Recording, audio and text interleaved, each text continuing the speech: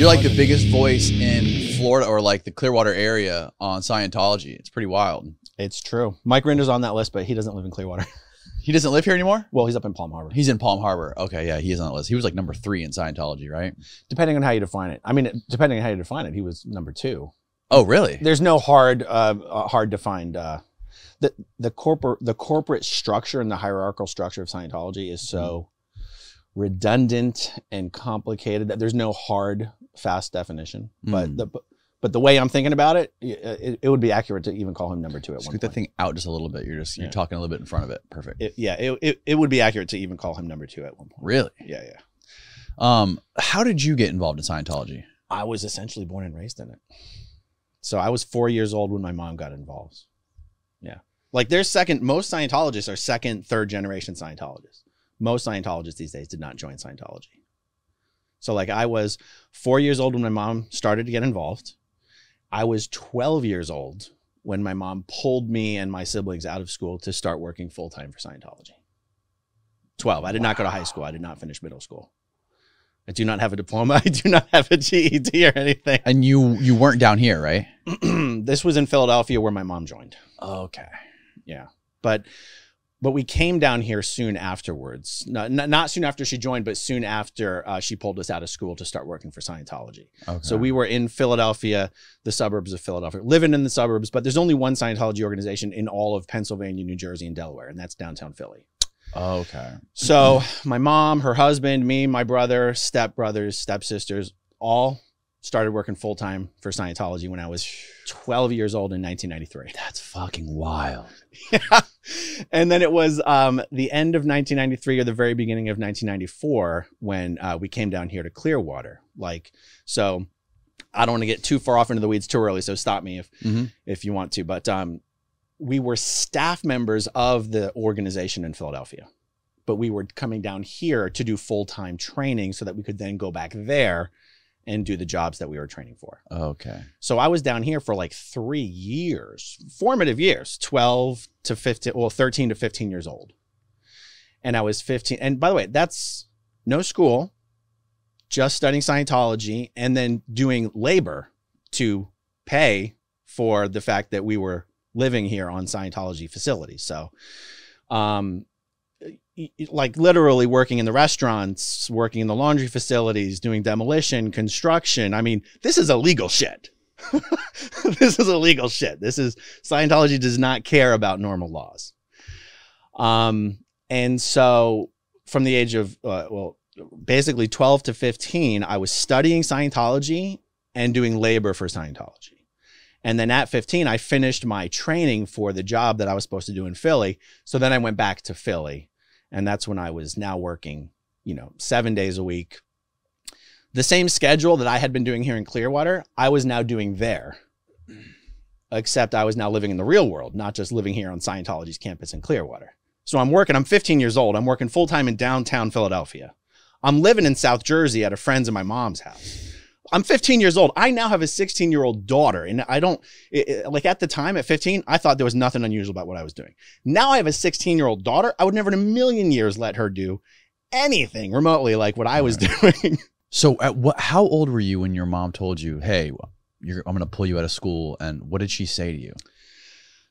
Well, I was 12. I was 12. And just to put it in sort of a perspective, like chronologically speaking, this was in 1993 when Scientology had just gotten its tax exempt status back.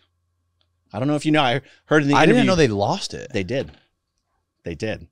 They had tax exemption when L. Ron Hubbard was still alive in the early years, like in the 60s. They had gotten it. Mm. And then the IRS took it away because they were able to demonstrate that L. Ron Hubbard was personally enriching himself from the funds of Scientology. Was that when he took off on the boat? That was much later. Much later. Okay. Um, and so, so Scientology had tax exemption. They lost it when L. Ron Hubbard died. He had an estate worth hundreds of millions of dollars. The instructions in his will were that this estate was to essentially be gifted to Scientology, but not until there was a tax exempt entity that it could be transferred to without being taxed. So that's why Miscavige, David Miscavige, and um, was so hell bent on getting the tax exemption back that's where they started harassing the IRS, filing thousands of lawsuits and everything. Because that was essentially Miscavige's task. His main task he needed to complete when. Ron Hubbard died was to get the tax exemption back. So the reason I'm mentioning that 1993 was an important year for Scientology. And once they announced the tax exemption, they announced um, a huge recruiting effort to train, to recruit and train 20 Scientology auditors for every Scientology organization in the world. Well, my mom had been a staff member earlier and then had left staff to take care of all the kids. And she had always wanted to figure out how to join staff again, but couldn't do it because of all the kids. How do you join staff with all the kids? Right. She was like, Well, I got a bright idea. Why don't all the kids join staff too? and so that's what we did. So we I led a relatively normal life up until the sixth grade. Okay. Then in the seventh grade, my mom pulled us all out of school and we did homeschool for the seventh grade. And we would do homeschool shit in the day and then we'd go to the Scientology org at night. And then, So at least she was still keeping you in education somewhat. yes, but then once we had finished enough, remember, so we're doing the homeschool day, studying at the Scientology org at night. But what we were studying was the stuff we needed to study to qualify to come down here to Clearwater. So once we finished studying like some of the entry level, you know, relatively entry level courses in Philly, now it was like, great, we're approved to go to Clearwater. And uh, and that's when we picked up. And for the next three years, we were down here. None of the authorities in Philly or Pennsylvania knew that we were in Florida. None of the authorities in Florida knew that we were here. We were just living in the Scientology bubble. So you were doing all this work just to pay off your admission to to be in Scientology, and for I guess there were um, the prices or the fees for taking certain courses. specifically what I was paying off with that labor was the fact that we were Philadelphia staff members, but we're living here in facilities owned by the Clearwater organization. So we were essentially paying, and they're feeding us three meals a day. So we're doing the labor just for the room and board, not for the courses. Technically, staff members get their courses for free. Unless you break your contract, then you have to pay for it all. So we're doing the labor just to live in an apartment with eight other people and get fed three meals a day. You're doing like 25 hours of labor a week. Now I say it now and I realize how crazy it sounds now. I didn't have any particular problem with it back then. I I, I rather enjoyed it, to be honest. It's a, it's a weird thing to say, but just think. Uh, I don't know what your high school experience was like, your middle middle school experience, because I never had one. But I can tell you that my the school experience I do remember it wasn't exactly a great experience. And so, and realize when I say we're being doing these labor jobs, it's not just like you set, send all the kids out to the field and do labor. We're working side by side with normal adults who are doing the same study program and doing the same work. And I guess what I'm saying here is at that young age, it sort of felt cool to be treated like an adult. That's what I'm really trying to say there. Mm, Do you know what I mean? yeah, definitely. It wasn't like, oh, geez, uh, yeah. I mean, was I going, oh man, I love the fact that I'm working in a kitchen? No, but you don't really thinking about it. You're just kind of, you're just kind of living life. We were around other kids your age. There was about a hundred other kids my age from all over the world. Wow. Man, one of the I mean, one of the most fucked up things about it, especially when you watch that documentary. you go, I just watched it like the third time, but when she t- when uh that lady, uh I think her what's her name, Spanky. Spanky She talks about her daughter being fucking sitting in some unair conditioned room surrounded by flies and her eyes crusted shut from, from infections and stuff. yeah. Like, is that like, is that a real thing that's happening today? Do they really have these malnourished children that are being held hostage from their parents? Today, no, Okay. because they changed the rules about being able to have kids in the Sea Org. So in Spanky's story, she was a Sea Org member in Los Angeles. And there was a time when Sea Org members were allowed to have kids, which is a, a horrible idea in the Mm, Sea organization. Um, now, these days, you can't have kids in the Sea organization. So, what does that mean? It means if you get pregnant, you're very much pressured to go get an abortion so you can stay in the Sea Org. Now, I'm pro choice. That, uh, like, the idea of someone getting an abortion is not offensive to me. The idea of an organization pressuring you to get an abortion, an organization that calls itself a church, is fucking disgusting. Mm. I mean, that's disgusting. And making it very difficult for you to leave. Yeah. And Flag, is I mean, you know the one in downtown Clearwater, that Oh, organization course. is called Flag. They have a shuttle that takes Sea Org members to the abortion clinic. Really? Yeah, well, because they got like 1,500 Sea Org members, and these people don't have access to health care. They make 50 bucks a week, you know, like they're going to, they get pregnant. They have a weekly shuttle. They had to start spreading out the abortion business to multiple clinics because red flags were starting to go up. Is why does this organization keep bringing shuttles of people for abortions? Like, it's cra- I mean, it's crazy. You say that it's absolutely crazy. Have you ever been inside that building? The the new building, no, I was already Well, on the outs. It's like the Jack Tar. It used to be the Jack Tar Hotel, right? Oh, the Fort Harrison. I've been inside the, The Fort Harrison. Yeah. That's different. The flag building is the one they built across the street from it. That's just this giant, massive, like 500,000 square foot. the one facility. closer to the water. You're thinking of the sandcastle. The one I'm thinking of. There's there's two buildings and there's like a bridge that goes over the road on top of it. The one that's closer to the water is the Fort Harrison Hotel. Like if you're Oh, looking on a okay. map, the, ho- the hotel is on the west side, closer to the right. water. Exactly. But then across from it is just a massive, like four or five story. It takes up a whole square city block. That's the one I'm talking about. And That's it's got called like the flag building. everything inside. It looks like Trump Tower on the inside. Like it's all gold plated and looks well, it's it's bronze. It's not gold. bronze. But- I- the only reason I know what it looks like is I saw a Grant Cardone post on Instagram where he's filming himself going through it. And I'm like, holy fuck, that's what's inside that place. Fucking Grant Cardone, man. Insane. Um, yeah, no, I was already on the outs with Scientology. I wasn't officially, uh, uh, Okay. you know, the word they use is declared, declared an SP, declared a suppressive person. yeah. It's being expelled. Um, and Scientology doesn't, it's not in the business of getting rid of people. So what it'll do is if it, if it thinks you're sort of like straying away, it'll try to keep you, try to keep you, try to keep you. And then when they realize they're not going to do that, they're like, get the fuck out of here. We don't want you anyway. You, you, you were, ne- you were never any good. Really? yeah, yeah. So Scientology will say that people like me and Ronnie Miscavige Sr., who you've interviewed, he's not with us anymore, but and Mike Rinder, they'll say, "Oh, these people were expelled." no, no, no, no, no, no. Once you gave up on being able to keep us, then you put a little paper together that was like, "Oh yeah, these guys are expelled." Have you heard the story of his Ron Miscavige's story of trying to escape? Oh yeah, Ron Oh was a friend of mine. God, it's terrifying how he had to escape. Yeah. He literally had to plan it out for I think it was months he planned it out. Months. And he got chased out like fucking wild. Yeah, I mean that's not even the craziest one. I mean, one of these days, once um, uh, you know, Shelly Miscavige's assistant, the young woman who used to work for Shelly Miscavige, her name's Valerie Haney, and she's got a lawsuit going right now against Scientology. But when that loss all when that lawsuit's all concluded, you should plan on interviewing her. She escaped in the trunk of a of a car of a non Scientologist. I mean, it's bad shit crazy. Bad Whatever happened. crazy. So there's a current story going on with Shelly Miscavige, right? Apparently that they haven't been able to find her, but they did find her. It's it's a very convoluted story. It is. Yeah. I- so everything I'm going to, every, every answer I'm going to give you this is something that's already been discussed, for example, on the Leah Remini and uh, Leah Remini Scientology and the Aftermath television show. Mhm. Have you seen the whole thing? No. Okay. There's an episode specifically about Shelley Miscavige.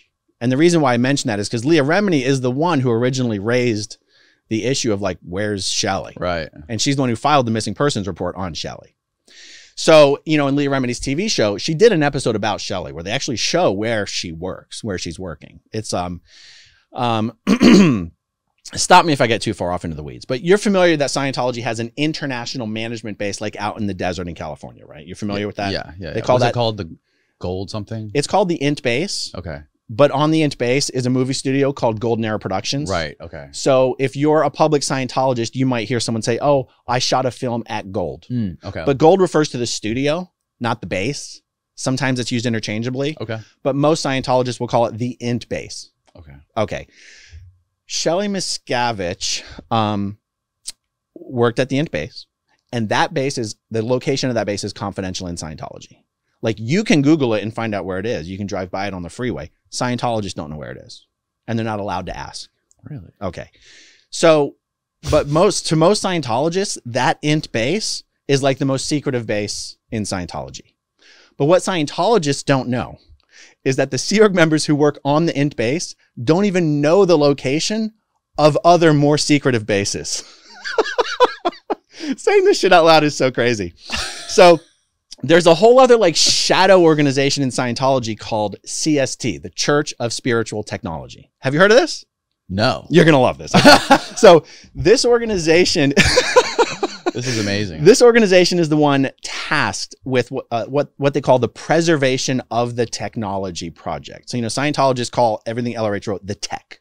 You've heard that word. I've right? heard that. Yeah. The tech. Mhm. So the tech is the books, the policy letters, the lectures, the bulletins. Okay. Well, Hubbard believes that this civilization will eventually wipe itself out through nuclear war. And nothing could be more important to civilization than Scientology. Not a crazy belief. Not a crazy belief. But L. Ron Hubbard want, wanted to make sure that once we all nuked ourselves, that uh, the, the civilization that was remaining would eventually be able to rediscover Scientology.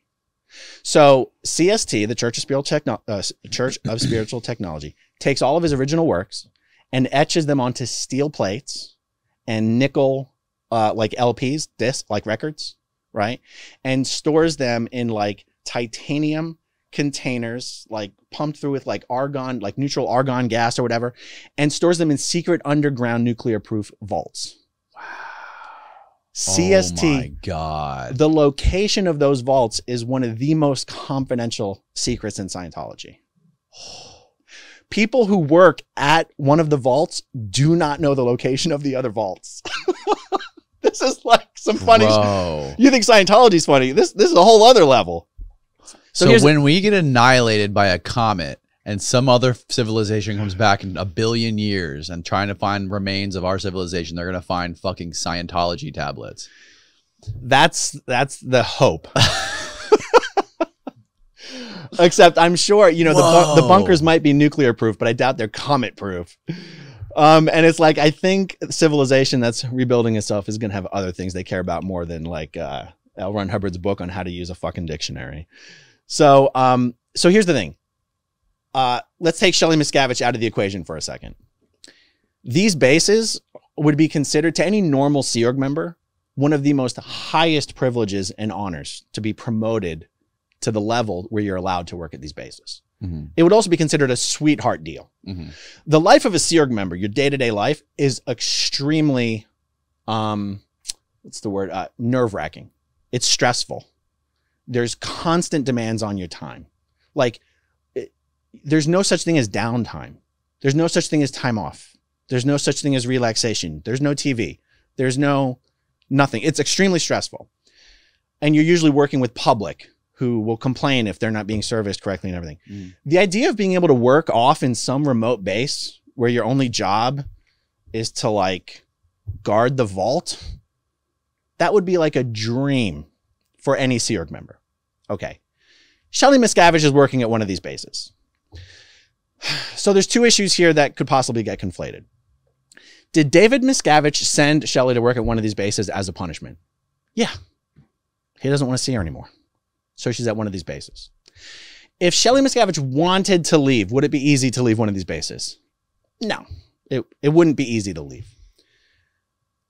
So if we assume for the sake of our, if- just for the sake of the argument, if Shelly Miscavige really wanted to leave and whatever, could one of these bases be used as sort of a prison? Sure. Is that what these bases are though? No. Any Sea Org member would kill to work at one of these bases. Right. Was Shelley banished there as a punishment? Yeah. Does that mean Shelley wants to leave the Sea Org? No one has any reason to believe Shelley Miscavige wants to leave the Sea Org. Mhm. Shelley Miscavige was raised by L. Ron Hubbard, practically. She, she's been working for L. Ron Hubbard since she was like 13, 14 years old. Um, she believes L. Ron Hubbard is coming back. If you're a true believer, um, and if you're Shelley Miscavige and if you're married to David Miscavige and you think your husband's a piece of shit and he's lost his mind and he's taken the whole organization and, you know, changed its purpose, if you just put yourself in Shelley Miscavige's shoes, there's nothing about that whole scenario that would make you go, oh, I no longer believe in Scientology anymore. And so I want to leave. And therefore I'm being held against my will. Mhm. Like she believes in the cause. She believes in the purpose. She believes in L. Ron Hubbard. She didn't join Scientology just because she was married to David Miscavige. So what happened is she used to be David Miscavige's assistant, not just his wife. Her job in the Sea Org was to be Miscavige's assistant. That is the only reason anyone ever saw or heard of Shelley Miscavige. That's why Leah knows. That's why Leah knew Shelley Miscavige. Mm. Being someone's spouse in the Sea Org means nothing. So let's say you're David Miscavige, right? Pardon this brief interruption, but I want to take a minute to talk about this incredible supplement that I've been using for over a year now. After it was recommended to me by nutritional scientist Dr. Dominic D'Agostino on this podcast. I take Dom's advice when it comes to anything related to nutrition, diet, and longevity because as we get older, these things become more and more important. That is why I started using Verso. Verso is a company that is dedicated to translating scientific breakthroughs into products that hold the potential to increase longevity. I take Cell Being, this one right here, which contains nicotinamide mononucleotide or NMN based supplement, paired with naturally derived micronized trans resveratrol and TMG. These two chemicals are actually precursors to what's called nicotinamide adenine dinucleotide, which is commonly known as NAD. And NAD is essentially the precursor to energy, cell repair, and longevity. If you've ever tried fasting or even intermittent fasting and you've gotten that feeling of super high energy or mental clarity, it's because your body is activating these genes called sirtuins, which are actually longevity genes. The downside is as we age, NAD declines. When I found out I could naturally increase my body's activation of sirtuins and naturally activate my body's production of NAD, I was sold. And it is so much more affordable than doing NAD IV drips. Head on over to ver.so and use the coupon code KONCRETE at checkout to save 15% on your entire order. That's K O N C R E T E at checkout and get 15% off your entire order, or you can just go to ver.so slash K O N C R E T E. It's linked below. Back to the show. and you have a wife and she's not your assistant. She has some other job. She would never travel with you. Ever. Under any circumstances for any reason. Sea members only do what it is their job to do. It's not like the normal world where if you're the president or you're a CEO, you go to a function, you would just have your wife with you because she's your wife. Right. That's not how it works in the Sea So I was I was in I was working full time for Scientology for 15 years. I couldn't have picked Shelly Miscavige out of a lineup. She was not a public person. Wow. Um, if Miscavige is walking around, he's got an entourage of maybe five, six, seven, eight people. You would never know which one is Shelley. He would never be like, "Let me introduce you to my wife." Mm. That's not how it works. Her job would be to be seen and not heard, unless directly Right. addressed Right. because Leah was a celeb is a celebrity, and because Shelley was always with Dave, Leah would see Dave and Shelley at these events. So they became acquaintances. Right. They became friends to the degree where maybe Leah would get letters and maybe a gift or something like that. We're not talking about two women who were going girls girls trips together. hmm Okay. so my point here is once Dave became no longer happy with Shelley for reasons that were not Shelley's fault, he removed her from her post as his assistant. That's the last time anybody would ever expect to see Shelley again. Right. Okay. There's probably a dozen or two dozen other senior executives of Scientology who've not been seen in 10 or 15 years. Nobody really gives a shit about them because they're not Hmm. Shelley Miscavige. Do you see what I mean? Yes. So now, there's nothing I have just said that Leah Remini wouldn't agree with. Leah Remini's position is it's simply inhumane for us not to be able to know that Shelley's okay. That's that's that's Leah's position. And she hasn't been seen anywhere. She hasn't made any kind of public statements. Nothing. Nothing of the sort. She hasn't, but we w- also wouldn't know. Because she wouldn't do that anyways. Right. It's not in her nature. Right. And let's say Shelley Miscavige had returned to the normal int base. We would never know. Mm-hmm. So all we know is that we don't know. But here's what we learned in the last few weeks.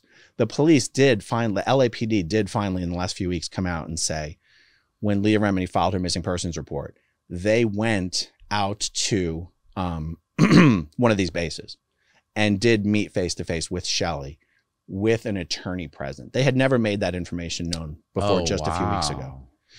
But you Oh, And see, when was that? When did they do that? I want to say 2013, 2014, but I'm a little fuzzy with my dates sometimes on that. But here's the thing Leah had given the LAPD a letter to deliver to Shelley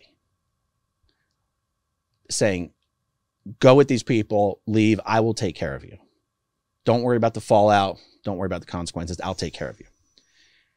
And she wanted the police to confirm for her that they had given the letter to Shelley. Well, the police wouldn't, they wouldn't even tell Leah that they didn't give the letter. Right. They just said that's classified. Well, now they're just being assholes. Right. There's no such thing as fucking classified when it comes to the police. It's not the CIA. It's Yeah. ridiculous. Mm-hmm. Okay, so but this is where Leah's like her. well, This is why she still has this beef. She has not been able, the, because the LAPD have basically been essentially trolling, like treating her like crap, just not giving her the information. Like the LAPD's behavior is such that it seems like they're covering for Scientology. Yeah, are they getting paid by David Miscavige? Or are they in the pocket of Scientology? Well, the LAPD does get money from Scientology. We know that. How so? Well, because every every year there's a fundraiser at the frickin' Celebrity Center for the LAPD, and then a representative of the LAPD goes up on stage. Is like they give them this giant oversized. Every year this happens? Every year at the holiday party, the holiday party is a fundraiser for the LAPD. And so you've got, you know, Captain Palka or whatever, used to be the head of the LAPD Hollywood division. He's up there getting a giant, you know, the like the 20,000 oversized checks. Like, thanks Scientology for the $20,000 check. Wow. You're like, well, yeah, no wonder you guys are being assholes to Leah Remini, you know? Like they literally wouldn't even tell Lee. Actually, here's I've spoken to some some police people about how this should have been handled. They should have told Leah up front whether they were or were not going to give that letter to Shelley. They shouldn't just be stringing Leah along for nine years or whatever it's been. Do you know what I mean? Mhm. Like there's there's really much better ways this could have been handled. Can she do anything about it? Can she sue the police department? Well, no, because like Leah's not even a family member. Right. Like you don't have the right. You don't necessarily like take Lee out of the equation, take Shelley out of the equation. I can't believe I don't no have the right to just anything. know, to demand to know where someone is who's Right. not like my mother, father, or child. Right. Right. But I mean, if there's clear signs of corruption, like, I'm surprised there hasn't been any sort of investigation into it or any sort of poking or prodding that's kind of like upset the nest. If the LAPD went and did physically see Shelly and talk to her, Mhm. and an attorney was present, at that point, there's just literally nothing else the police can do. Mm. Shelley's an adult. They can see you're healthy. Like the police aren't even allowed to be like, are you here of your own free will? They got to be careful. This is a religious order. Legally speaking, the Sea Organization is a religious order. Right. You can't be like, you couldn't go into the Vatican and ask a cardinal, do you really want to be here? Or are you just, you, like, you can't do that. right? Right. So to some, uh, to me, there's there's un, it's unquestionable that there is corruption between Scientology and the LAPD. Is that the same case here in Clearwater? Ooh, I got to be careful with that one. Why? You're the you got what, like a hundred thousand subscribers, and all you do is talk about Scientology. oh, I'm not afraid of talking smack about any of these assholes. But you don't want to talk about you don't want to talk or or assume that What when I said I'll be careful, I got to be careful about specifically impugning people just because I think it and not because it's actually true. So, um, I'll tell you what, uh, Chief Slaughter, let's name names. Chief Dan Slaughter of the Clearwater PD. Um, he was very, very angry with the fact that the Clearwater police were made to look, came off looking very bad in an episode of the of Leah Remini's TV show where they shot here in Clearwater for like two or three days. Mhm. And um, without rehashing the entire show, the police ended up looking very corrupt. The police ended up looking that they were just essentially like the the, the jackboot soldiers for Scientology.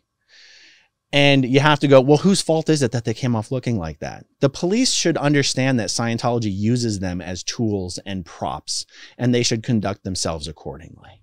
You know, the police are essentially, here's how I would describe it. Well, I mentioned Dan Slaughter a moment ago.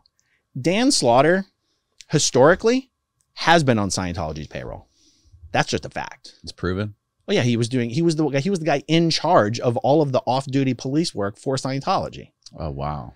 So when I say on site, you know, it's not illegal for police to do off-duty work, Right. but it sure is a problem when you're doing it for a human trafficking cult that is taking over your downtown. Maybe you want to exercise some discretion on who the fuck you let your officers do off-duty work for. You know, and I've I've spoken to Chief Slaughter about this, and he said, look, there's an approval process on how an organization gets on that list. And once they're an approved organization, you can't exactly say no because now you're discriminating. How does Scientology become an approved organization of the Clearwater Police Department? No, no, no. Uh, just an approved organization to, to hire police officers to do off duty security work. Right, but who approves that? Well, it's it's going to be uh, that's going to be a decision made by either a person or a panel at the Clearwater Police. It's not. It's it's Okay. definitely not a county or a state thing. Like the Okay. Clearwater Police are the ones making that decision. Okay. But his point is, in order to say no, you'd have to remove them from the list. right. but you'd probably have to have some cause for that. Mm. And then you'd probably have to be ready to fight a lawsuit about that. Mm. And for some reason, the city is very scared about, you know, I Are they still on the list? Oh, yeah. yeah. So they're, They're still, still on the hiring cops off duty to do their 100%. And, shit, and man. I'm told that they pay three times the normal rate. this is how you get corruption.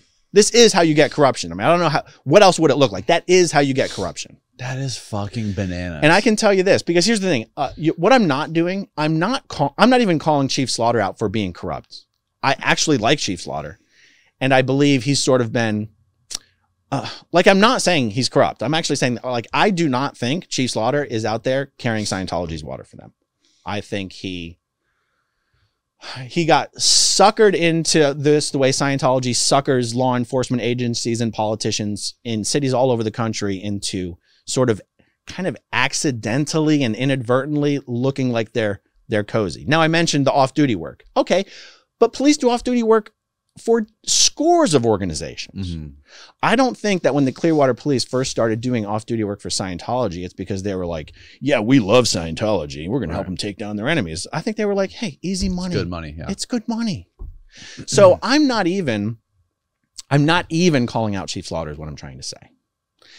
However, here's something else to follow on. There was uh, a couple years ago, there was several people who had gone to the police to talk about um, child sex abuse that they had experienced at the hands of Scientology decades ago. And all I can tell you is every single one of those people told me they were treated like fucking shit by the Clearwater police. And that shit really pisses me off. Because it's like, if you're in the Clearwater police, you already know you have a perception problem. You already know you have this family destroying human trafficking cult shaping the reputation of your city. You should be bending over backwards to try and change that reputation. And treating any of these victims, alleged victims, real victims, whether the police believed them, not believed them, I don't even know.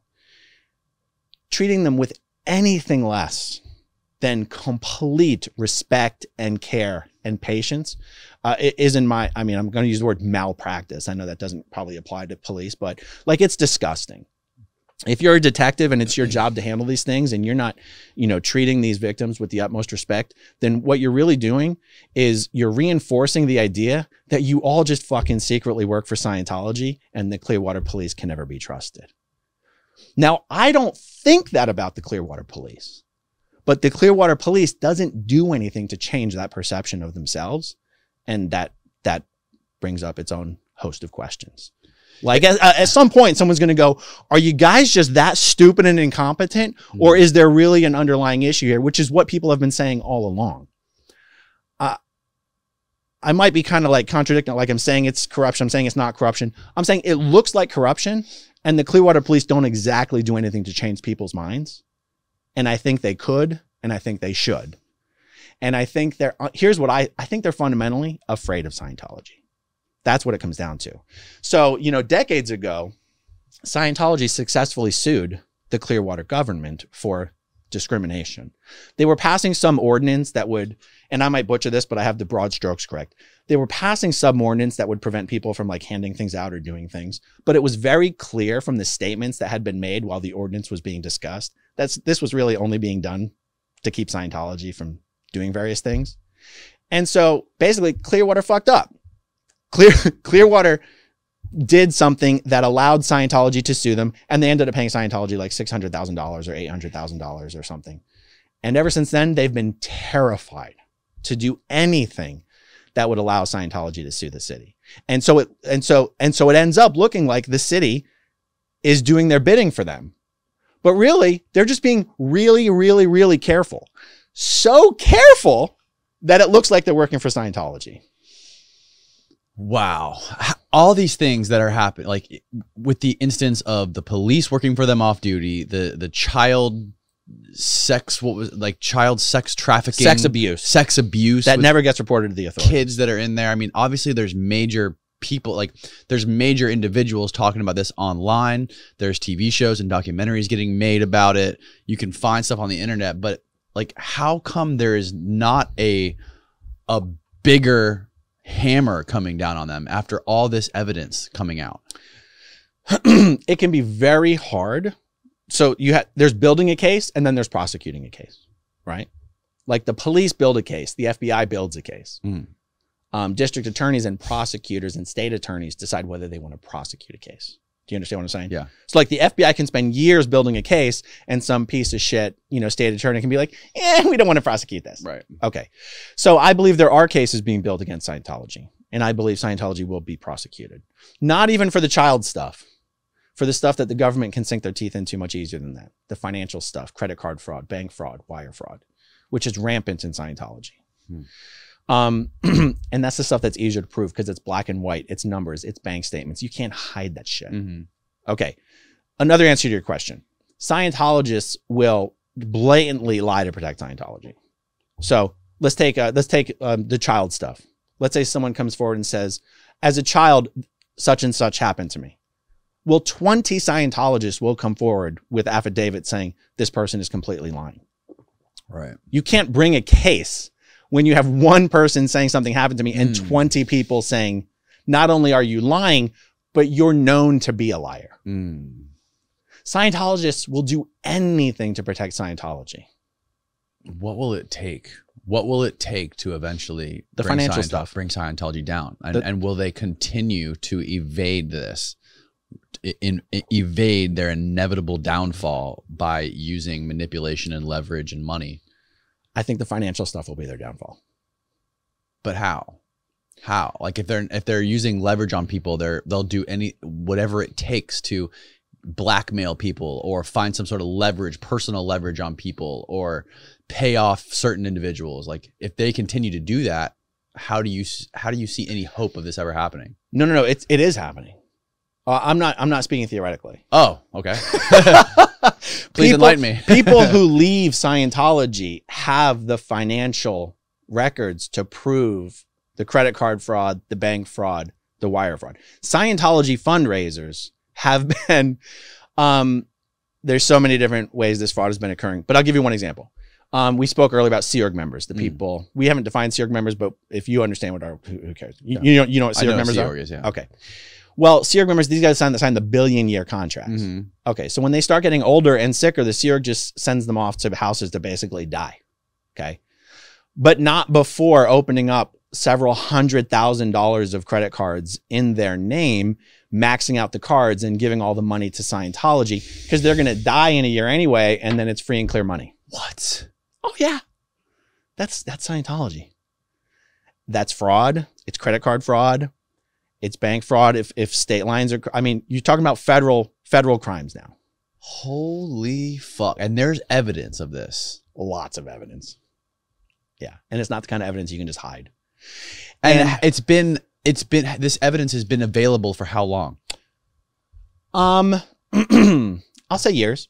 Years. Still nothing. Well, Still nothing has happened. um, when you say charges haven't been filed, Right. But Scientology remember, still exists remember- doing well, right? building a case and prosecuting a case are two different things. Okay. Right. So we can say uh, evidence has been being compiled for years. Mm-hmm. Um, I don't think we will have to wait much longer to see um, you know, charges, indictments. And, and could it be one year? Could it be three years? Could it be five years? Mm. I would bet more closer to three years. Um, but remember, you have to have political will to take this on. I believe that political will exists. Uh, I, I'm not. I'm not gonna naming names or anything, but I believe that will is there. Okay, and um, and it, so it's one thing to go. Well, Jesus, it's been years. Sorry, I don't want to burp into the mic. It's okay. You can burp into the mic. Do that all the time. let's look at it. Let's talk about like not to switch subjects, but the same subject. The Danny Masterson case that I'm sure you've heard about. Mhm. Those victims came forward like five years ago. For people that don't don't know, can you explain? Well, Danny Masterson is a Scientologist actor from that 70s show who's been accused of violent, forcible rape, including drugging the women. Um, he's facing charges for three three women, but seven or eight women have made accusations, almost all exactly the same. And the three women who uh, he's facing charges for were all Scientologists. But Scientologists aren't allowed to report Scientologists to the authorities Right. for any reason ever. So that's why it took these women so long to come forward. Um, but we also know Scientology has this culture where all Scientologists snitch on each other constantly Mhm. in written reports. So there's dozens of meticulously detailed reports about what Danny did, right? Mhm. So Scientology might be the reason these women took so long to come forward, but Scientology is also the reason why so much fucking evidence exists about what he did. Okay, I'm mentioning Danny Masterson because it took five years for that to come to court. Right. And Danny Masterson isn't a multi billion dollar organization with a fearsome reputation. The prosecutor sat on that case for two years, meaning the police had already done their job. The police had already done the investigations. The case was sitting on the prosecutor's desk for two years. And she would have never brought the case, except the person running against her for the next time she was up for reelection was like part of his whole campaign thing was, I'm going to take care of the Scientology business that this one's not taking care of. Jackie Lacey was the one who was sitting on it. Wow. And um and, and that's just a celebrity. That's just a celebrity. Right. So um all I'm saying is um uh, it's easy to get dissatisfied that it could take years and years to build a case, but I don't necessarily or, or to bring it, but I don't necessarily fault um I don't necessarily fault the players in the system for the fact that it can simply take that long to put a case together, especially when you know what you're going to be up against. What is David Miscavige doing right now? Where does he live? And like, what does he? Where, where do you think he? Uh, where do you think his mind is on all this? Like, where like he's sitting in a penthouse in Clearwater right now, somehow pondering how he's going to He expand very Scientology because it's been on the decline for a while now, right? Like, it's got less than thirty thousand members now, and it used to be what over hundred thousand. Yeah. What What do you think his mindset is right now? It, he lives in a very funny world. I mean, he lives in a world. It's almost like like I don't know however however you might think of North Korea. He almost has this North North Korea that manages to exist within the boundaries of the United States. Except realize Scientology has bases uh, in Europe, in um, Australia, eh, many bases in Europe. He's got a base in England. He's got a base in Copenhagen. Um, there's a base in Taiwan, a base in Australia, multiple bases in Los Angeles. Like he sort of lives in a world of his own making. So people go, where does where does he live? Well, legally speaking, I believe Scientology says he lives in Clearwater, but it's kind of like where does Tom Cruise live? Right. Wherever the fuck he wants to live. Right. He's got houses all over the world. Miscavige has residences all over the world.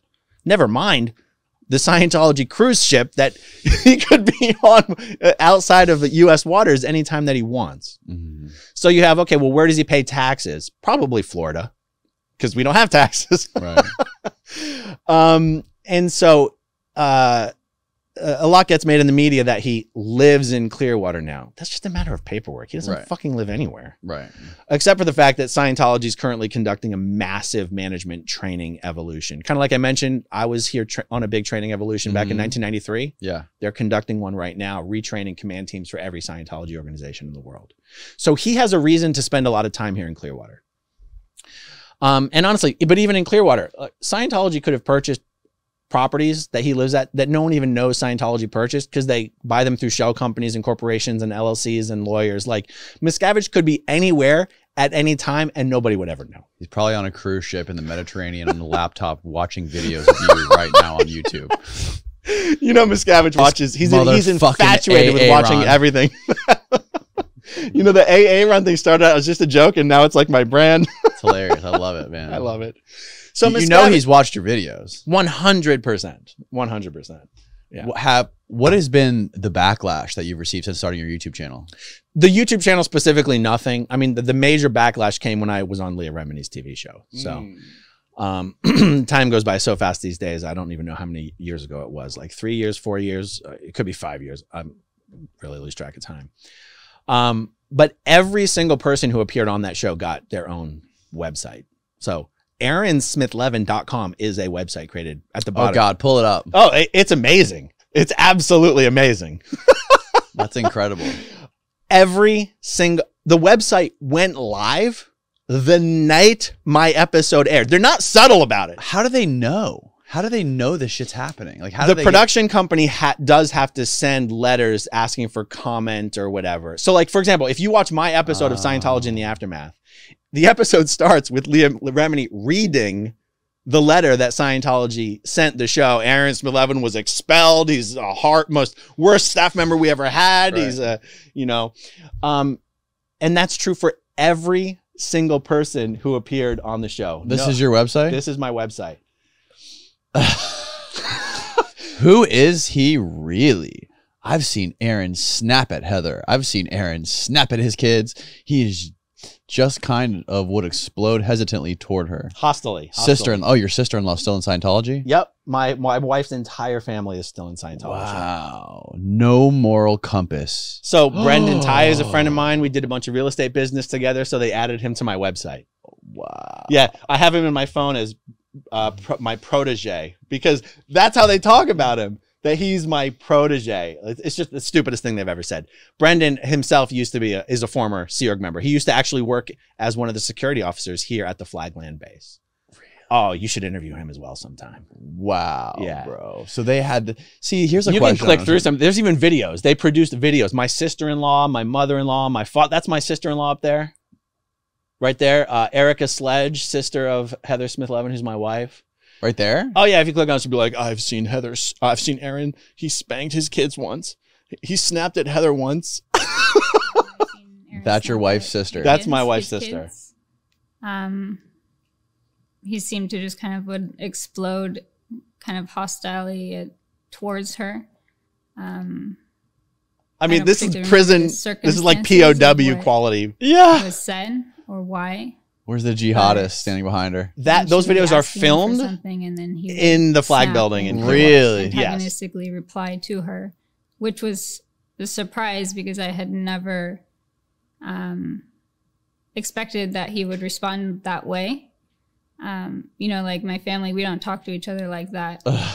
My husband and I never would talk to each other like that. I My hope you put this would never talk website in your bio like on that. your YouTube channel. I, I have I done, I've done so. I bring up. I would mention this website all the time. Respond in fucking way. wild, man. And so the thing is, like, ev- when I say every person on the show, I mean literally every person. Do you know how much time and you know how much time it takes to produce stuff oh like this? yeah, I mean that's a good looking website. Yeah. Uh, uh, oh, you can click through all the links. There's actually scroll down to the bottom of the website. Scroll down all the way to the bottom, and it will literally say they're not subtle about it. Church of Scientology International.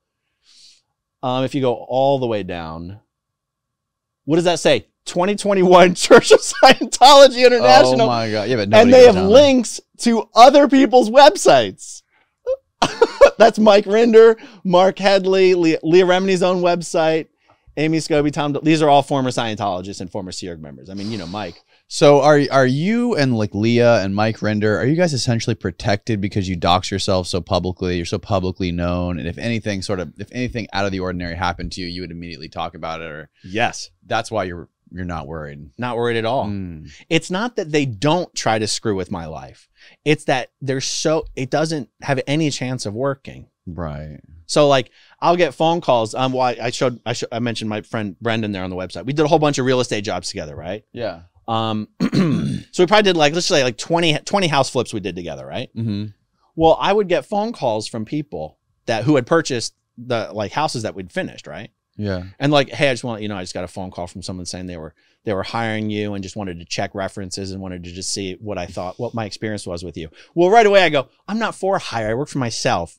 So like, I'm not, I, I'm not for hire. So what that is is that's a Scientology private investigator doing pretext phone calls to people they know have done business with me to see if they'll find someone to talk shit about me. Oh. So, but they ah. call me and I, I'm like, yes, evidence. Because I, some people, so people ask me, do they follow you? I go, shit, if they do, I, I don't know. I can't tell. But if you look at this website, scroll up a bit, you're going to see what looks like a bunch of mugshots. yeah, yeah. Um, I'm going to show you what that is. It's evidence that they're following, that they were following me. So me and Mike, we did a house flip together, right? We went 50 50 on it, right? Okay. and we hired some people off Craigslist to like clean out the house or do some painting or whatever. Well, it didn't even occur to me. In retrospect, you realize if you're looking for a job on Craigslist, maybe it's because you have a hard time finding work, and maybe it's because you got a criminal record. So they published mugshots of laborers that we had hired off of Craigslist just to do some manual labor. Well, what does that mean? That means they're scope. They're, it means they're staking out the house. It means they're running license plates of every vehicle that pulls up doing background checks, right? Right. And so when I see a website like this, I go, do you realize how bad this makes you look? Like you seem to think that I'm going to look at this website and go, oh no, Aaron's a horrible person. He gave someone with a felony record an opportunity to make some money. Right. But they think that somehow Mhm. this makes me look bad. I go, the website makes you guys look bad, Mhm. right? It's one thing if the stuff that they were publishing was all true, then maybe they'd be able to get into people's heads. But for the most part, they make it up. It's hard to get into someone's head when you're just making shit up. Right. And you're the Church of Scientology and nobody really believes anything that you say anyway. What's the worst thing they've done to try? Have they done anything bad or crazy to try to intimidate you or? I mean, this is, well, I mean, the worst thing they've done is destroy my wife's entire family. That's the worst Right. thing they've done. Yeah. You know, it's frowned upon. but as days. far as like, they've never been able to actually interfere with my business. okay, I've never ever Well, lost business or money because of them. the reason I ask is in the documentary. I mean, they had people like that. They had a group that they bought the house right next door to somebody's house. Oh, one of- yeah. one of the main guys, and, Oh, yeah. and, and had people filming his house twenty four seven. Well, that was Mike Rinder. You no, it wasn't. Mike. It was somebody else. It was the other guy, the guy who was the like the the Marty. Marty. Marty Rathbun. yes. Totally. They did it to both of them. Oh, really? Now, Marty went back to Scientology. Did he really? Yeah. Now, let me define what that means. It's not like he's a card carrying member who goes in and gets course uh, d- gets auditing and does courses. He, He was the guy who was the number one auditor of Tom Cruise, right? Yeah. Yeah. If you look at Marty Rathbun now, he does videos shitting on Mike Rinder and Leah Remini and me and every other person who was on Leah Remini's TV show. Wow. Yeah, he did a deal with Miscavige. He did a money deal, and I'll say allegedly because there's no proof of it. Mhm. Um, uh, you know, Marty Rathbun is an older, you know, older gentleman, uh, no real ability to earn a living for himself. He and his wife had recently adopted a baby son, and I think he was confronting the fact that he really had no long-term prospects to provide for his son Mm. and his family. Mm. And they had a they had a lawsuit going against Scientology. Him and his wife. His wife specifically is the one who filed the lawsuit. So they had to create a settlement. Well, well, yeah, uh, they were winning the lawsuit. Every decision that had come down from the courts with respect to the lawsuit had been in their favor. Mm-hmm. They had Scientology over a barrel, Right. and all of a sudden they fired the lawyers, dismissed the lawsuit, disconnected from all their friends, bought a house, Was it a civil lawsuit? Yeah. Yeah.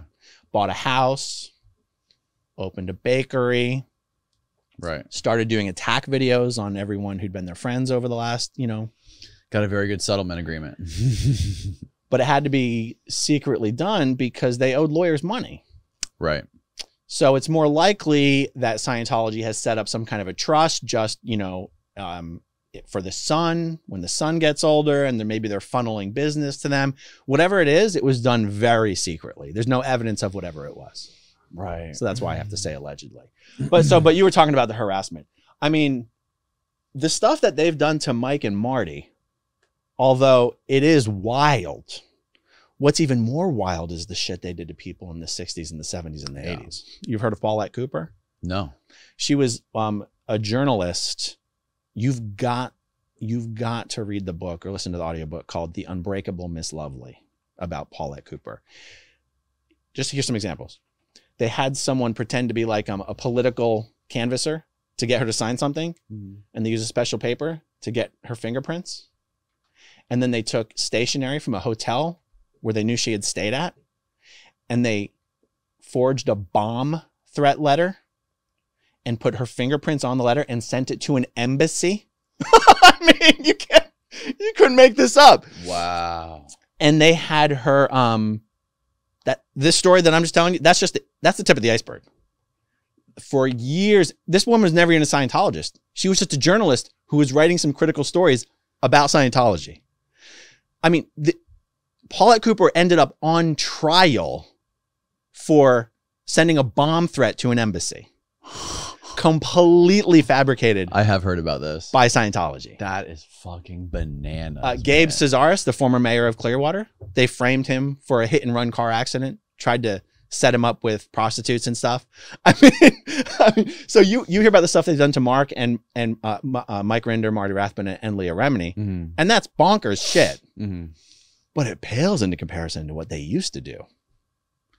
And one of the reasons they don't quite push the envelope like that these days is now they have a lot more to lose because they got their tax exempt status back. Right. And the most important thing to David Miscavige is protecting that tax exemption. You know, it's such a funny thing, especially like in politics. You hear a lot of people talking about tax the rich, the billionaires need to be taxed more. But then you have Scientology that's worth over $3 billion, I think, that is essentially completely tax free, pays zero tax. Yeah. Zero income tax, zero property tax. there's zero pol- politicians that talk about it? I feel like not none that I see at least. I think most people have no, absolutely just no idea what Scientology is. They think Tom Cruise, whatever. Most politicians just don't know. And I think um, one of the problems that we do have politically and legislatively speaking is the evangelical right would rather err on the side of protecting too many people under the banner of religious freedom than to accidentally skew a little too far into threatening the protections mm-hmm. enjoyed by you know legitimate religious organizations so like right. scientology sort of banks on the fact that if you're a member of the evangelical christian political right they bank on the fact that you would rather protect scientology and maybe make a mistake by doing that than to make an example out of scientology and then perhaps tomorrow someone makes an example out of you do you, do you see what i'm saying Yes. yeah Yeah, they've exploited sort of a gray area into, and, and they're fucking masterful at doing it. and they are and, and they will hire the best talent out Right. i mean they put their tax-free money to very um, advantageous use so you know they'll hire for former you know i mean the, the former justice of the texas supreme court is on scientology's payroll i mean you have to question the moral integrity of any of these people who will take scientology's you know money but they're out there Have they done anything to help their local communities or actually do things that are not in their own interest? Like the hurricanes that come through Florida. Do they do anything to help people at all? Like, is there anything good that they're doing philanthropic with their money? So they will do stuff, but just so they can put out a press release about it. Hmm. Now, on some level, someone might go, "Well, who cares what their motivation is as long as they're helping people?" That's like most companies. and if most, I would agree. I would agree. Most companies operate the same way, but most churches don't. Your local Presbyterian church is not out helping people Mm, with a camera crew following them around and Right. putting out a fucking press release. right. They're just doing it because they want to be like Christ. they are they are a company. They're not really a church. They are technically they're not technically a church. They're a fucking company. Well, and, and the analogy, the comparison is good because that essentially is how Scientology operates. They operate like a company because that is essentially what they are. Mm. And, you know, I, I think I will consider my definition of victory or taking them down or whatever is just getting their tax exempt status Right. revoked. If they're just a normal tax paying, you know, member of the community who's subject to the same laws and oversight and criminal regulations that we're all, you know, responsible to, then fine. That's my definition of victory. Right. Well, I, mean, they, they are kind of, they are kind of, I mean, well, how do you define a religion? That's the biggest question. You define a, a community that believes in some Right. sort of common thing, some, some common belief to, for a moral structure that Yeah. bonds a group of people together. I could give you a really good steelman argument for how Scientology is a religion. Whether they deserve tax exempt status is a completely different conversation, though. Right. Well, the biggest difference to me is that they have a fucking paywall. Hmm? The biggest difference be- Oh, the to pay, me, yeah. they have a paywall. you, you can't learn about the whole like in Christianity or in Judaism. You can read all the text and learn everything about it before you decide to convert to it. Yeah. Scientology doesn't work that way. They have this amazing self-help sort of facade or aura to it in Dianetics, where it's it seems like a pretty positive thing and eliminating negative influences, learning to control your environment, and Yeah. it seems like a lot. I mean, a lot of people that I've met around here that are ex Scientologists are very kind, successful people. In fact, what one of the guys, one of like the most entertaining dudes I've ever met around here is like one of the biggest real estate guys. He sold a, a friend of mine like this giant house on Belleair Beach, and he's one of the most successful realtors around here. He's not a Scientologist. He's not a former Scientologist. He told me he was the Pollock. He's Ron- a Pollock? Pollock? He's he, he's he's Polish. His name is. Uh, my friend called him the Polak. That was his nickname. His, uh, his name is uh, fuck. I'm losing it. I'm his name is escaping me right now. Wazio. Rafal Wazio. He is not a former Scientologist. What? He is a guy who all the Scientologists use. I know. I, I got his number. I, I, I was. I thought he was former. He's not. Why the fuck did he tell me he was former? Wait. He told you he was former? I believe so. No, no. He, it must be a breakdown, a, a misunderstanding somewhere. Because understand this: if he was a former Scientologist, he wouldn't be allowed to work with current Scientologists, and all the rich Scientologists in Clearwater use Rafal. Okay. Or Uh, I spoke to Rafal just a few weeks ago. I was showing someone a, a, pro, a property that he was representing, um, and no, maybe- Rafal's I, I must be mistaking. I must be mistaking. But but I would go even further, and I would say most current Scientologists are fantastic, friendly, caring people. Like it's not like Scientologists don't genuinely believe in what they're doing and its value. They do. And that's where you get a very interesting conversation about well, what is a religion and is Scientology a religion? Look, in this country, if we didn't have tax exemption so intimately tied up with whether something is a quote unquote real religion, like honestly, at some point, you know, what the fuck's a real religion? There are some people who think all religion is bullshit. Right. So now we're talking about which ones are real. Mm. How do you define real? Well, there's different ways you could define it. And I think there is an argument that could be made. I could definitely give you the argument for how Scientology is a religion. But is it deserving of tax exemption? Does it represent, does it serve the public interest? Is it violating public policy? Do you know what I mean? Mm-hmm. Um, and, and And those, those, evangelists. those evangelists should be two different conversations. Right. But in this country, they're not. But there's also evangelists that fly around on jets that do big seminars similar to what you see in Scientology. Exactly. That's kind of the same. How could you? What is your argument for Scientology being a, a religion? So here's so let's uh, I, I would approach that from uh, this way. What do Scientologists genuinely believe? What are the core held beliefs? Um, they believe that we are all immortal spiritual beings. To a Scientologist, that's unquestionable. Like you are not your body, and you've That's lived, a fair belief. That's a that's totally I, I wouldn't say that's completely crazy. it's not crazy. I mean, that's like almost like that's the first. Any religion believes we're spiritual beings. Right. Okay. They do not believe in a heaven or a hell, or they literally believe you've you as a being have you've been around for trillions and trillions and trillions of years. Okay. And you cannot die. It's not even possible. You can't die. When you say a being, is the, is it similar to like a soul? Uh, it, it, it is a soul. A Scientologist would do it this way. Like your eyes are not what's looking at me. You as a being are simply have located yourselves behind your eyes and you're looking at me. You as a being. Okay. And when this body dies, you literally just boop, jump over to the hospital and jump into a new baby body and live a new life. Okay. And the only reason you don't remember your previous life is because you zipped over to the moon where the alien implant brain wiping, memory wiping station wiped your memory before you shot down into the new body. This is where Scientology beliefs that get very is crazy. Is that legit? They say that That's what they believe, yes. there's a brainwashing station on the moon.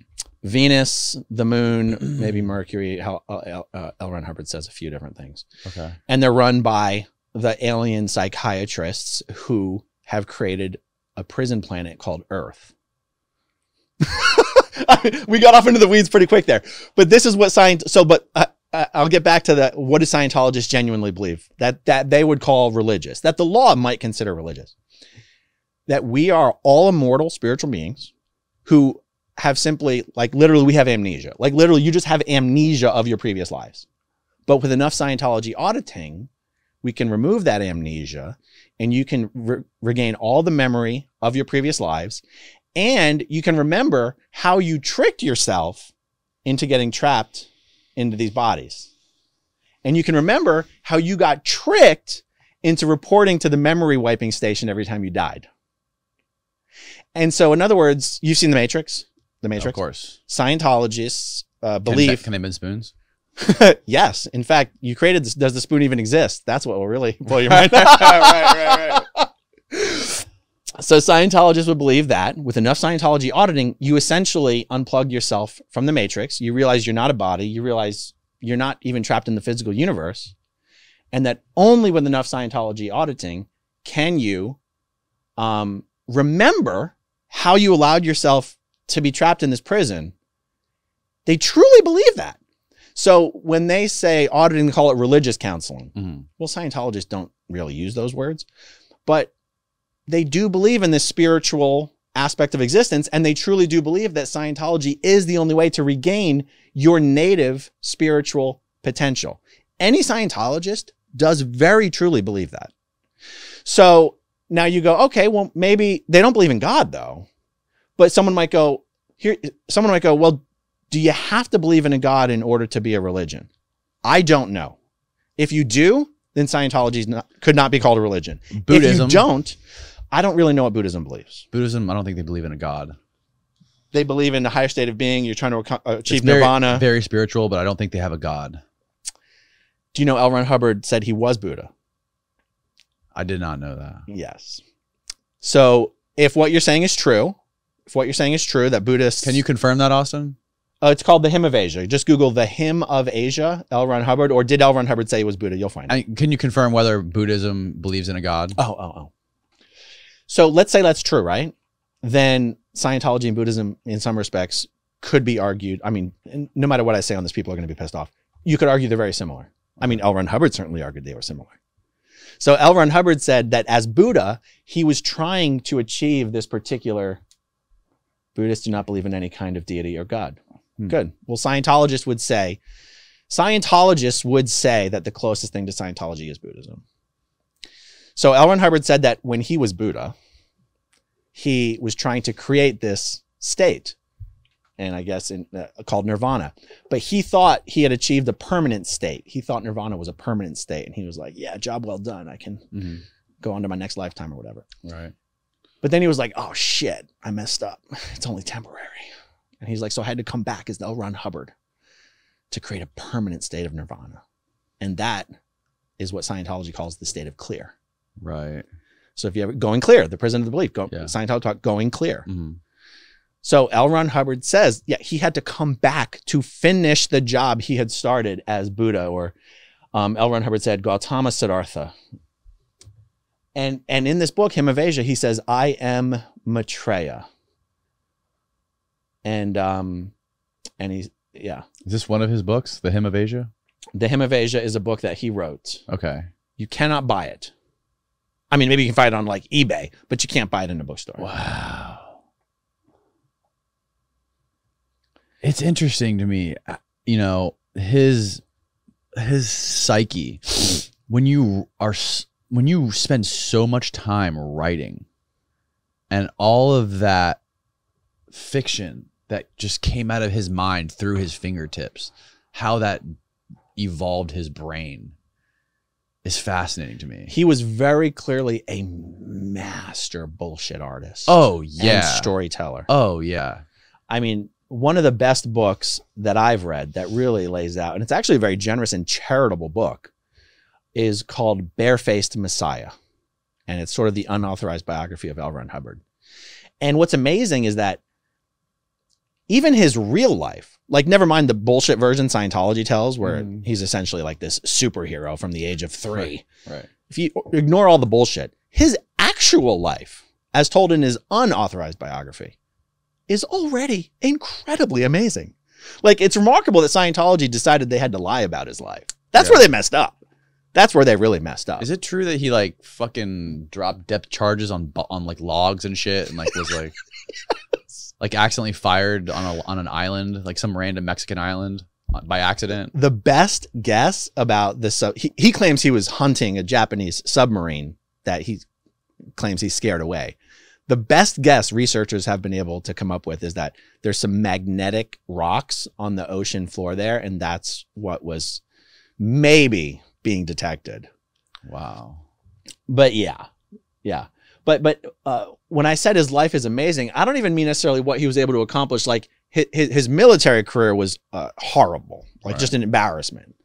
But I'm talking about things like the people he became friends with and who act, who, actually sort of looked up to him as as something and someone. You're like, wow. Like you remember being a member of the Explorers Club and going on certain expeditions and whatnot. Did he lie his ass off about what these expeditions were and what he really did? Yeah, he lied his ass off about everything. Mhm. But I got to tell you, being a master bullshit artist can get you really far in life.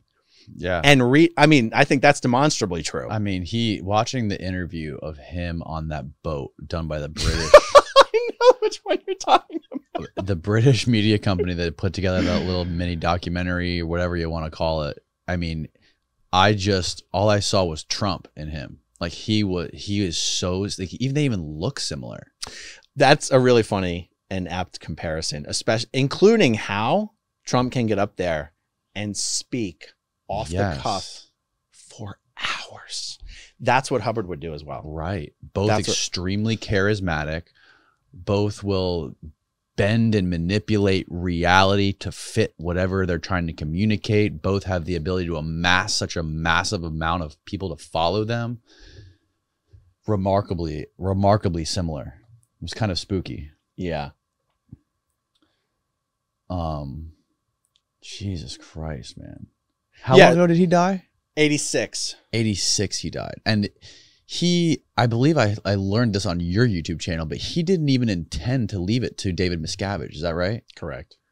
he had a some sort of living will that he wanted to leave it to two women or two girls well, it was um it was a, a a man and a woman, a married couple, Pat and Annie Broeker. Oh, Pat's a man. I don't know.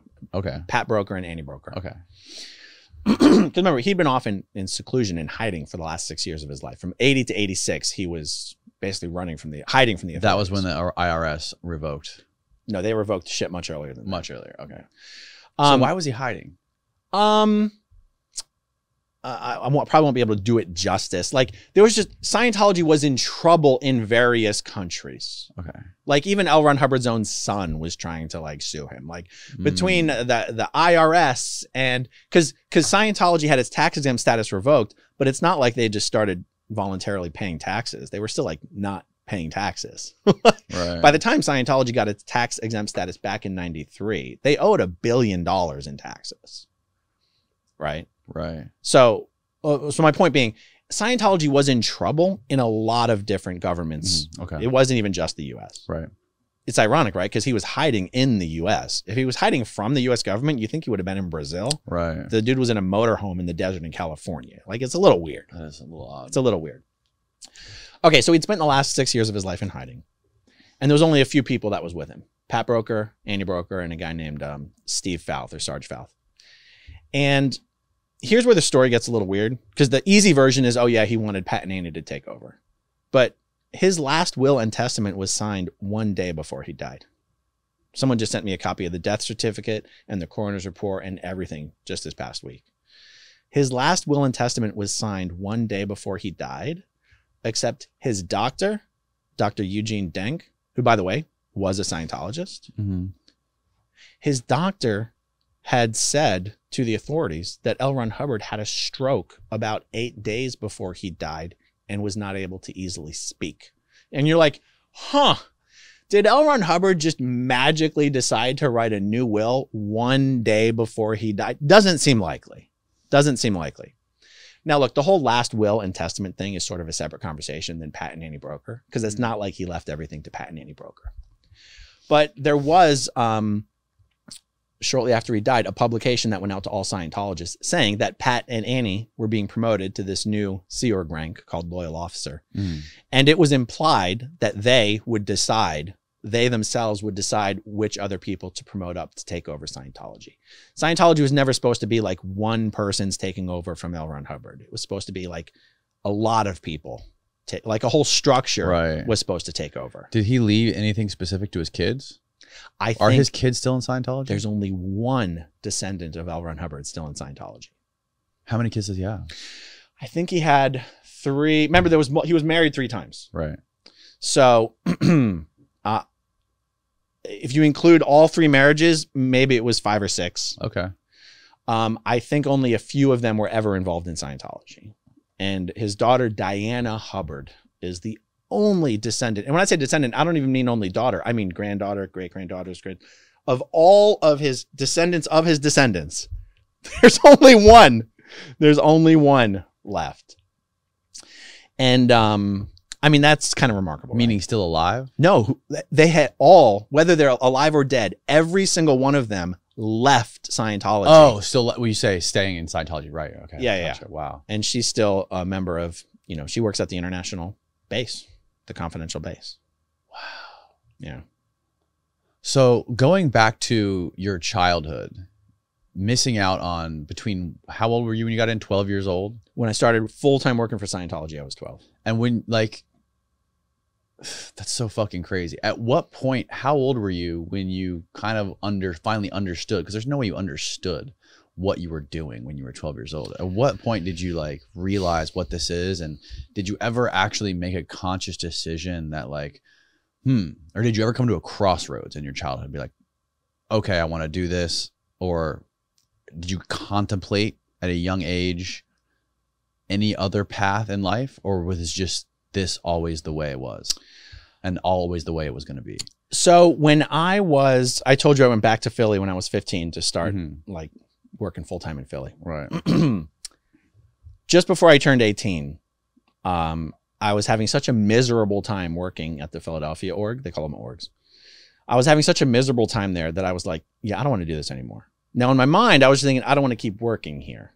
I wasn't thinking I want to leave Scientology. I was just like, I'm not going to keep, you guys are a bunch of assholes. You're making my life difficult. And I moved to Hollywood for two years. Had nothing to do with Scientology for two years. But I still considered myself a Scientologist. Like it, it's hard, it's hard to truly explain the thought process because it's not a black and a white thing, right? I just knew I wasn't happy doing what I was doing, and I decided I wanted to do something different. But without really thinking through necessarily the long term consequences. You know, I'm 17 years old. I'm just kind of So you didn't like formally leave. You just decided to move and go do something else. That's right. Now, because I was leaving without finishing my contract, I had what they call a freeloader debt. Your billion year contract? Well, I hadn't joined the Sea Org yet. I was Okay. just a local. So at that point, it was a five year contract that I'd broken. Okay.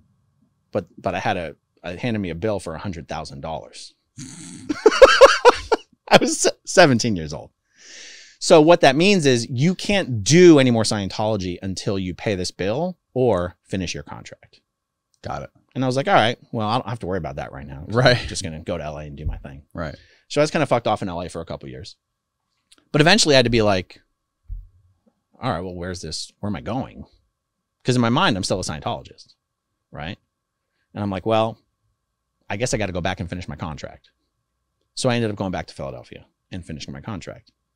Now, so I, I, like I said, it's not black and white. Like, so that was a crossroads in the sense that I sort of took a two year hiatus from working at the org. But in my mind, I w- I hadn't really taken a two year hiatus from Scientology. I was just sort of, you do you, Yeah, I understand like what you're saying. okay. So I went back and finished my contract, and then when my contract was up, then I joined the fucking Sea Org.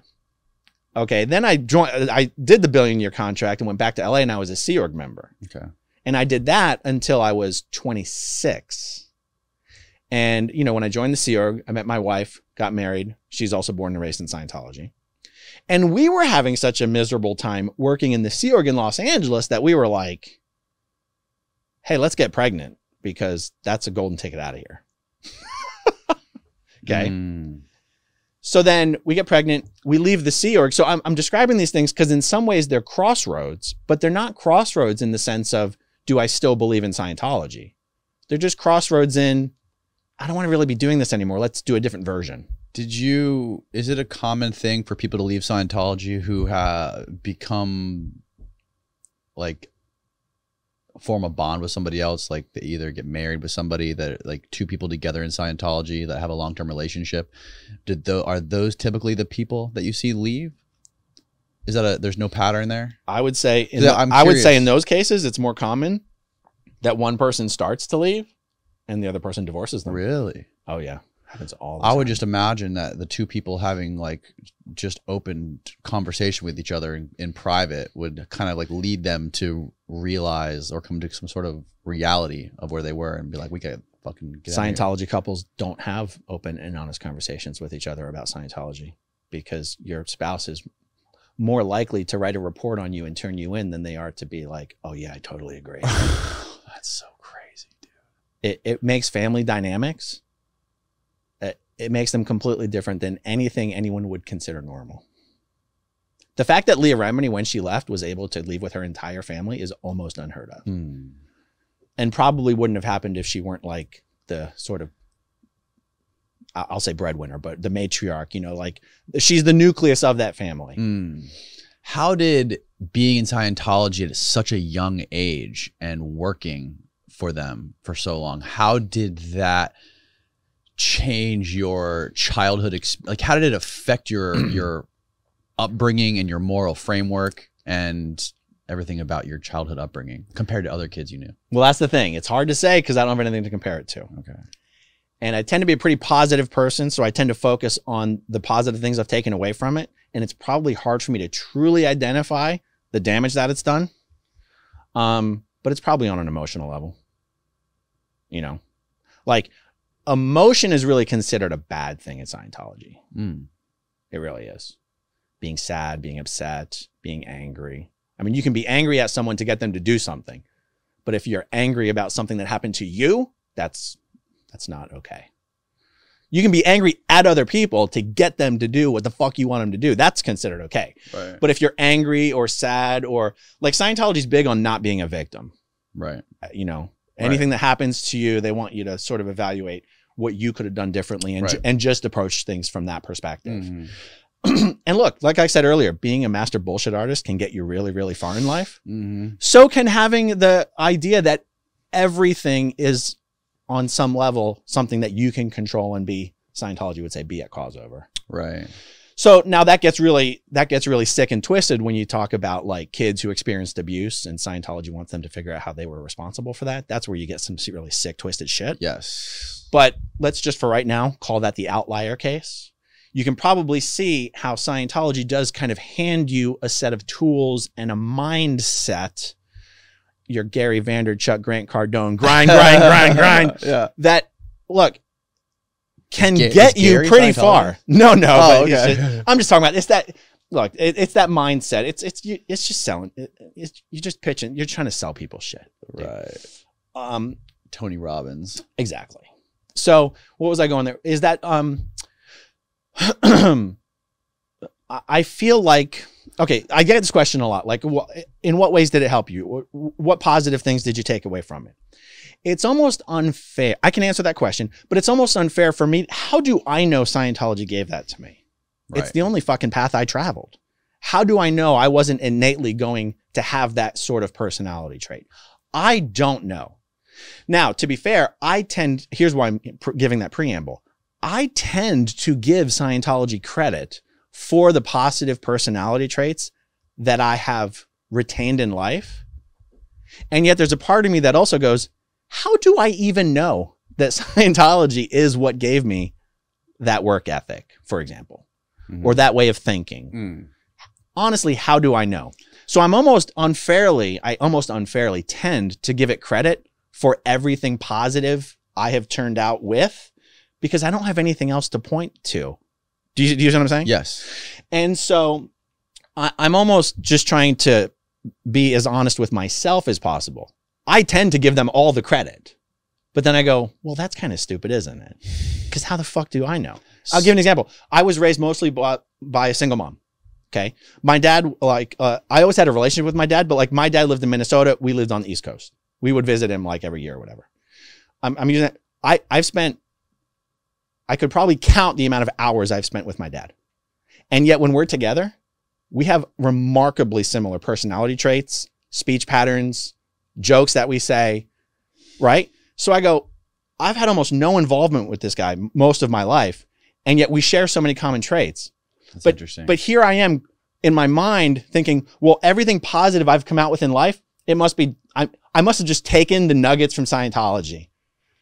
Well, that's not a sensible conclusion to make, is it? right. It's the easy conclusion to make. Mm. Do you see what I'm saying? Yes, absolutely. So, in some respects, I want to be honest and fair about what I have taken away from the experience, but I also can't necessarily say that I know I got those from Scientology. So, the whole grinding mentality, you know, I sort of have that mentality, but that's only healthy to a degree.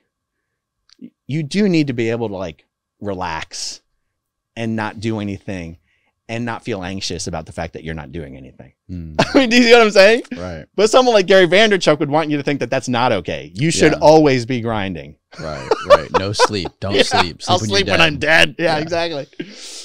And so, look, anything positive that there is to take from Scientology is not unique to Scientology. I mean, you could probably say that about anything. Yes. Well, it's Um, a, I mean, it's all, it's very similar to that NXIVM cult. You know, they were very So much the- similar. very much the same. Scarily Mm. similar. Yes. And I would almost even say that guy Keith Raniere and David Miscavige are scarily the same, even though one's a hippie and one's like a clean cut kind of like dictator guy. Isn't it weird that they're both about five feet tall? That is the weirdest thing of all to me. yeah. So many cult leaders are like five three. It's it's amazing. Gary Vee looks like a tiny dude to me. Grant Cardone's not a tall guy himself. Grant. Cardone. Oh my god. Ha- yeah, he's like David Miscavige is like five foot three, isn't he? He's legit. He's like, five foot three with fucking lifts in his shoes. He's with, five, with good shoes. he's five foot one. that is so fucking weird. So fucking weird. If you ever look at look at Tom Cruise and Dave Miscavige standing side by side, Tom's a little bit taller. Tom's a lot taller. Is he a lot taller? He's a good half a Well, head. tall- Tom's he's pretty a half short. a head taller. And Tom also, you ever see the boots Tom wears? Got these fat soles on him. yeah. So, and, and you know the uh, yeah, uh, Tom's a good half a head taller than than Dave, and, and Tom's already. If you if you ask people who met Tom, they'll one for one be like, I was just really surprised at, startled at how short he is. Yes, I've heard that. I've heard that. Is leverage the one thing they they utilize to sort of protect themselves? How so? Because uh, when it comes to people like Tom or people like um, John Travolta or people like that, like the reason that th those people could easily single handedly probably destroy Scientology. Do you mean using leverage to keep them in Scientology? yeah, using leverage to not just keep them in Scientology, but to keep them from speaking out negatively or or telling the truth about it. Or Those guys are true believers. to do favors, like even the way they use the police department, leveraging them with money, using them, you know, for charities or whatever. Like it seems like one of their their biggest weapons is leverage to staying to keeping their existence. Scientologists are true believers. True believers. I, I would go so far as to say I do not know of, I do not think there is a single Scientologist who stays in Scientology because they're afraid of what Scientology will do with their secrets. I don't think a single Scientologist stays in for that reason. I think science, because here's the thing you can leave Scientology and just keep your mouth shut. You can leave Scientology and not speak out. Mm-hmm. And if you do that, Scientology will not lift a finger to do anything to you. So, like, if you're a John Travolta and you want to leave Scientology, you could just leave and keep your mouth shut, and Scientology will leave you alone. So it's not publicly leave, or no. well, well, you don't publicly. he would have to completely not. He would have to say nothing. If he, even if he was asked in an interview, did you have you left Scientology? He would have to lie. He would probably lie if he said something like um, what Jason Lee said, where he just said, "Oh, I'm no longer a practicing Scientologist," and Okay. never said a si- nothing negative. Hmm. You know, if you oh, it just wasn't for me. So, some of these people will pretend like they were never really in it, like Will Will Smith and Jada Pinkett Smith. They just pretend like, oh, we were just students of world religion, and you're like, yeah, you literally recruited other celebrities into Scientology. Student of world religion, my ass. That's a crazy one. Yeah. So like, but leverage, honestly, to be totally fair, um, Scientologists don't stay in for that reason. Tom Cruise is a true believer.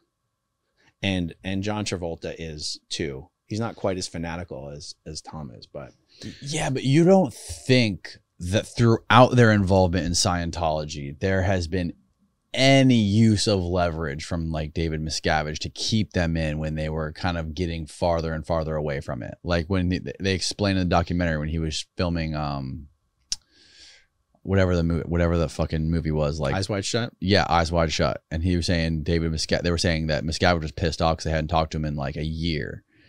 You don't think it's possible that he utilized leverage at all with some of his auditing to sort of being like, look, we gotta. If by leverage, Even if it's not, I don't mean necessarily blackmailing. I don't necessarily mean like saying, hey, Tom, if you don't fucking come back and do all this stuff, we're gonna out you. I, I don't mean doing it that way. I mean doing it sort of subconsciously or doing it vaguely, like vaguely, you know, letting him know that I suggest you do this. Otherwise, it could be bad for you. let me paint the picture this way. When I when I was describing what do Scientologists really believe as far as what you might call the religious philosophy of Scientology, they believe this is a prison planet. They believe we're trapped in these bodies. They believe we're living in the matrix. Okay.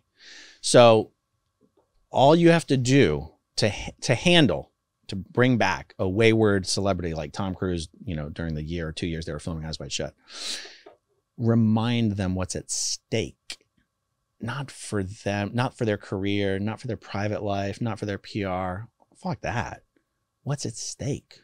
This is the only brief breath in eternity that we have to free ourselves from the trap. And LRH says, if we miss this brief window, we may never again have another chance. You take someone who's been steeped in that, it's very easy to rekindle Mm. that belief. And then you'll hear, I think the, you've heard the version of the story where they sent Marty to go audit Tom to sort of, Right. and it's almost like Miscavige considered that the auditing was working when Cruise would reach out to Miscavige instead of Miscavige having to reach out to Cruise. Mm. Right.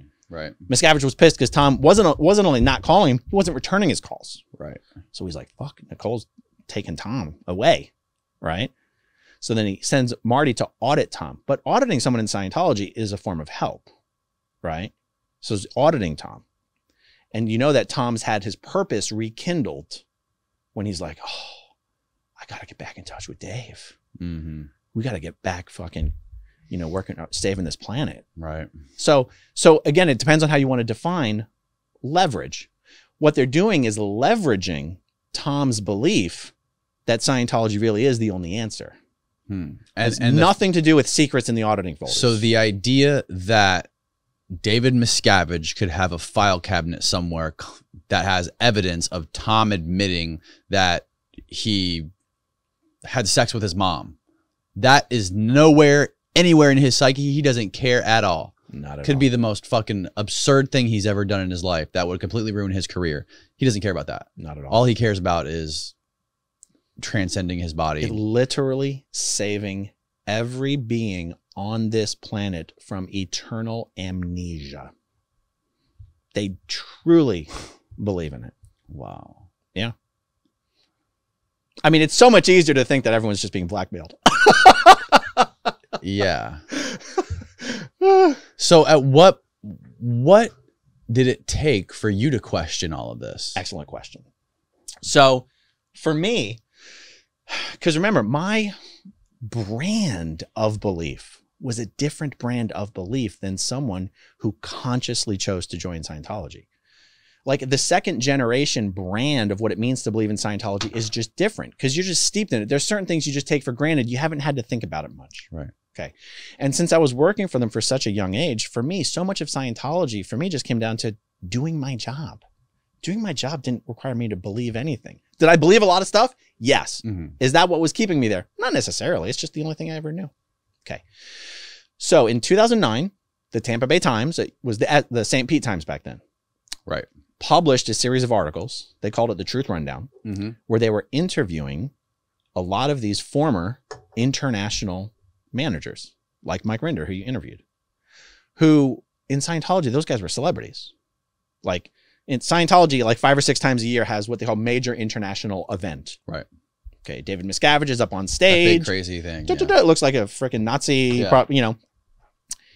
And you know those those events are held live either in Clearwater or LA, and videos of those events are sent to every organization in the world and every Scientologist. They used to do them at Ruth. Ruth Eckerd Hall, right? Yep, yep. So the the management executives who were the regular speakers at those events, those are the celebrities of Scientology in the world of Scientology. Right. Okay. So in these articles, they're interviewing people who I've known my entire life, not personally, but from stage, who are talking about their experiences working at the international base and base and how it, it- was essentially a place of torture. I mean, just to put it in, you know, Mhm. some hyperbolic words, but now in, in all my years working for Scientology, I'd experienced there's good experiences, there's bad experiences, but I always thought that at the international base, that was a utopia. I was like, that's perfection up there. I was like, just pure L. Ron Hubbard standard technology, standard administration, standard ethics, no public crying about this, demanding that, you know. Floating around, bending spoons. But just every, just great. No stress. Everyone's happy. Like just utopia. Mhm. to find out that that international management base was not only not better than what my experience had been, it was significantly worse. That was just the first crack in the dam. That was just the first crack in the dam. It wasn't even the first crack in the dam for do I still believe in Scientology? It wasn't even the first crack in the dam of do I still th- do I think there's something weird wrong with LRH? It was something is different than what I thought my whole life was true. I was electrified. I wasn't even like, oh no, what does this mean? I was like, oh shit, it's on. Like that was my response. I was like, oh shit, there's some juicy shit here that I have not known my entire life, and I want to fucking know the goods. So, what did they tell you about just haphazardly listening to the TV or reading the newspaper? Don't they warn you about that?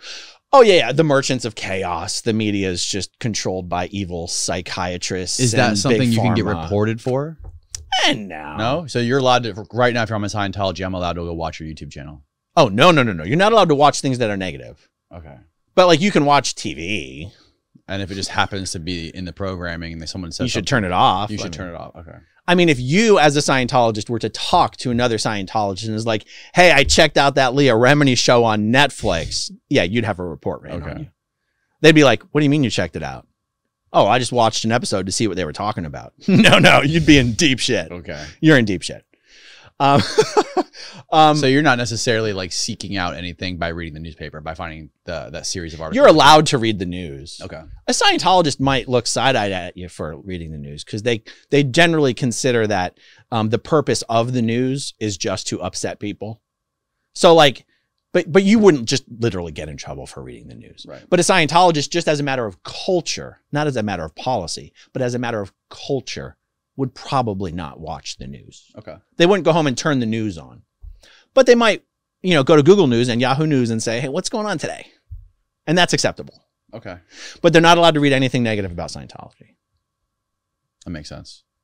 So when you first read those articles, you saw you were seeing people like Mike Rinder speak out about what what they were dealing with, the kind of conditions they were living in, and that was the first crack in the dam, as you say. That was the first crack in the dam. And then eventually, I started getting in touch with them. How did you get in touch with them? Um, Marty Rathbun created a blog. Okay. Oh and yeah, yeah, yeah. Later, Mike, and then later, Mike Rinder created a blog, and that that's how I got in touch with them. And I was like, guys, what are you talking about? You gotta like, you gotta download to me. What's going on? Right. to me it was just sensational i mean i was i was i was the word i use is electrified like every day i was like what am i going to learn today? This is amazing. Like some people have some existential crisis. They're like oh no what do i really believe? Have i wasted my life? For whatever reason that is not what i experienced. I was like oh it's game time bitches. What? I want to know more. That's fascinating. and and so but but again in the beginning it was just sort of learning new things about international management learning new things about what these executives were experiencing. Because on some level everything i'm learning about here that only goes back to david miscavige because you know what i mean it wasn't l ron hubbard running the show up there beating everybody up and imprisoning all the executives that was david miscavige Right. so even as I'm learning all this stuff, it's not necessarily making me question Scientology or L. Ron Hubbard. It's just making me question the regime, the existing structure. but then I started to hear from some of these executives who I knew knew what they were talking about and weren't bullshitting. That um, you know, what Scientologists believe about the upper confidential levels of the bridge, the confidential levels that you know Scientologists believe that L. Ron Hubbard, before he dropped his body, they say before he died, researched a whole bunch of these extra confidential OT levels. That is what they call them, Mhm. and that they've just been sitting in the fucking vaults for 30 years waiting to be released. And these things are going to change the world. These things are going to be what LRH really promised. You know, being able to exteriorize from your body at will. You know, being able to bend the fucking spoon for real, right? Like I believed that stuff. Right. When I heard from someone who I knew knew that that's that was all a lie. Um, we searched every fucking scrap of paper L. Ron Hubbard left behind in all of his files. We dug up everything. There's no OT left. There's no OT nine and ten. It doesn't exist. It's nobody knows. Did you ever meet anybody who was OT8? Oh yeah, there's tons of them. Really? Yeah, they're totally Tons of them. They're almost one for one complete losers. What? And in Scientology, when I was still a true believer, I already knew that.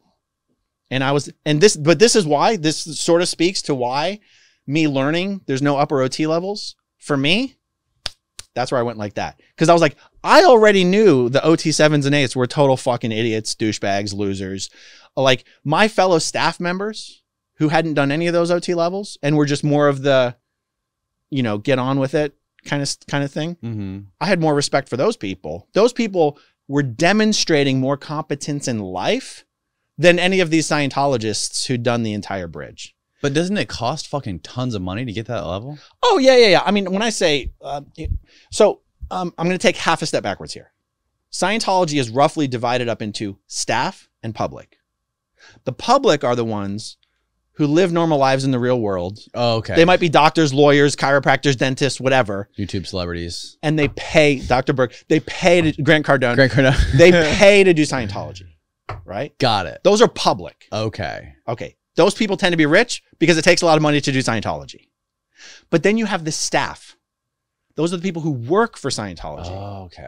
They don't usually speaking um, pay for it. They pay They- with their lives. They pay they with their work. work. Oh, okay. Scientology will call that being on the business side of the e-meter. The e-meter is the tool that you use in an auditing session, okay? So you have the business side of the e-meter, the person conducting, hand, taking care of business. Well, put yourself in the frame of mind of someone who's getting auditing. You're basically going, there's something wrong with me and I would like to get better. Here's some money. Can you fix me? And then you basically sit back and get auditing. Mm. It's the difference between, and I'm sorry for the analogy, people, I, I, no matter what analogy you use, somebody will object. It's the difference between the therapist and the person getting therapy. Okay. The person getting therapy is like, there's something wrong with me. Can you fix me? I, I don't, I'm not saying this derogatorily. Yeah, I'm just saying you have the person who's trying to improve and you have the person who's doing the improving. Okay. Scientology calls the staff members are the ones on the business side of the e-meter. They're not the ones sitting back going, please fix me. I'm broken. Right. So you have two different mentalities. Now that's an example of something I've taken from Scientology, and I'm not quite sure if it's a good thing or a bad thing. I don't have that I'm broken, will you fix me mentality. And it's almost impossible for me to assume that role. Like if Right. if you know, I, I don't seek guidance from other people. I guide myself. Yeah. Okay.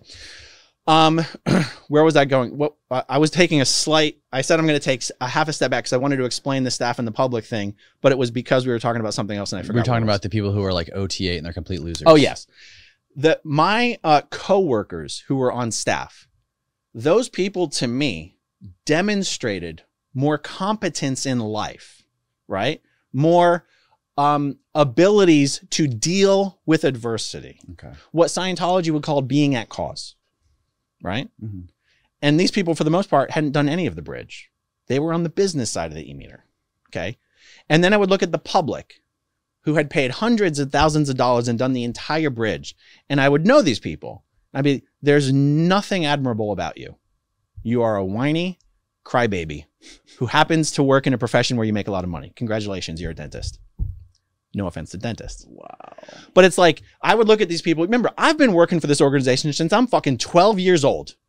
You're a 50 year old man coming in here saying, I'm broken. I want to handle relationships better. Can you fix me? Okay. I know I'm being very derogatory about this, but you have to understand, even as a, as a true believing Scientologist, I did not look up to or respect or admire these public who had quote unquote done the entire bridge. I was like, okay, I respect my boss who hasn't done any bridge 10 times more than I respect you. And you don't seem like you're competent. You don't even seem like you're a good speaker. Right.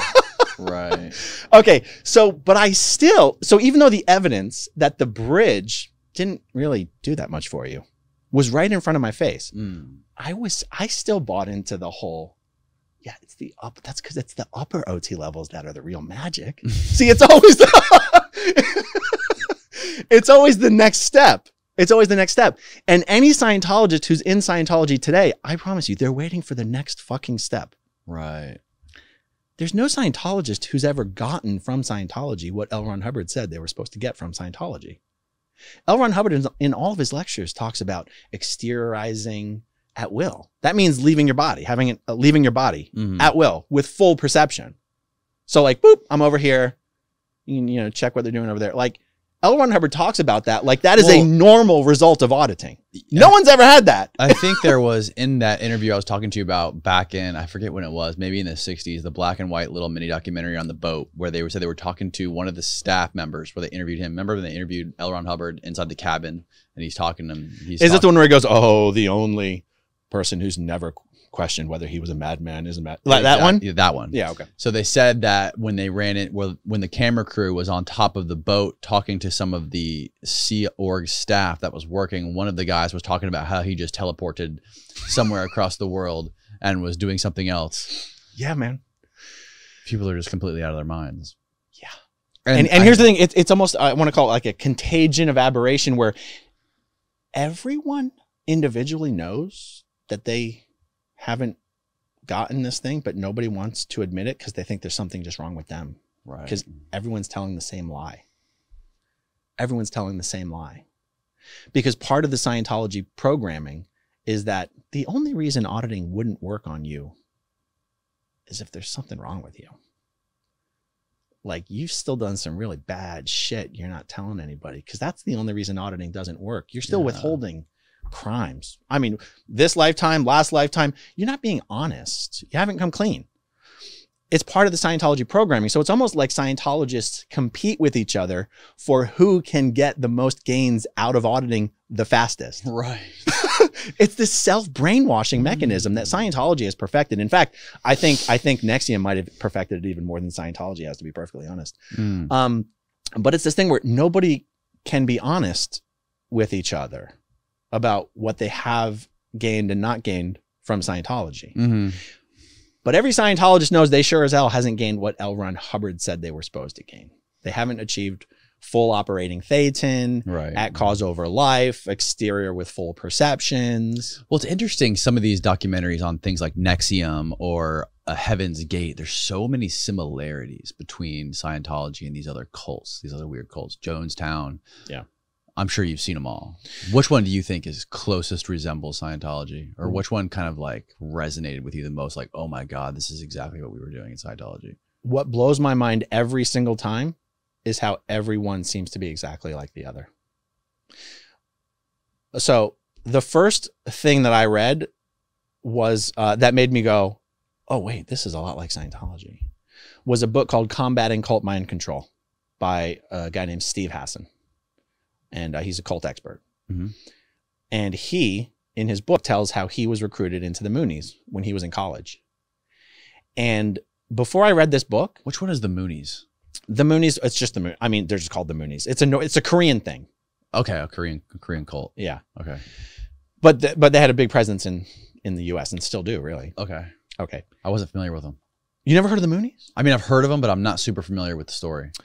Um, so before I read this book, I I'd already sort of realized come to terms with the fact that Scientology was bullshit, but I didn't realize I was still holding on very tightly to this idea that it might be bullshit, but boy, that's some unique, special bullshit, isn't it? That's some special brand of bullshit. Mm-hmm. Like we're we're we might have been believing some bullshit, but that was fucking special as shit, right? I didn't realize I was still holding on to that so tightly.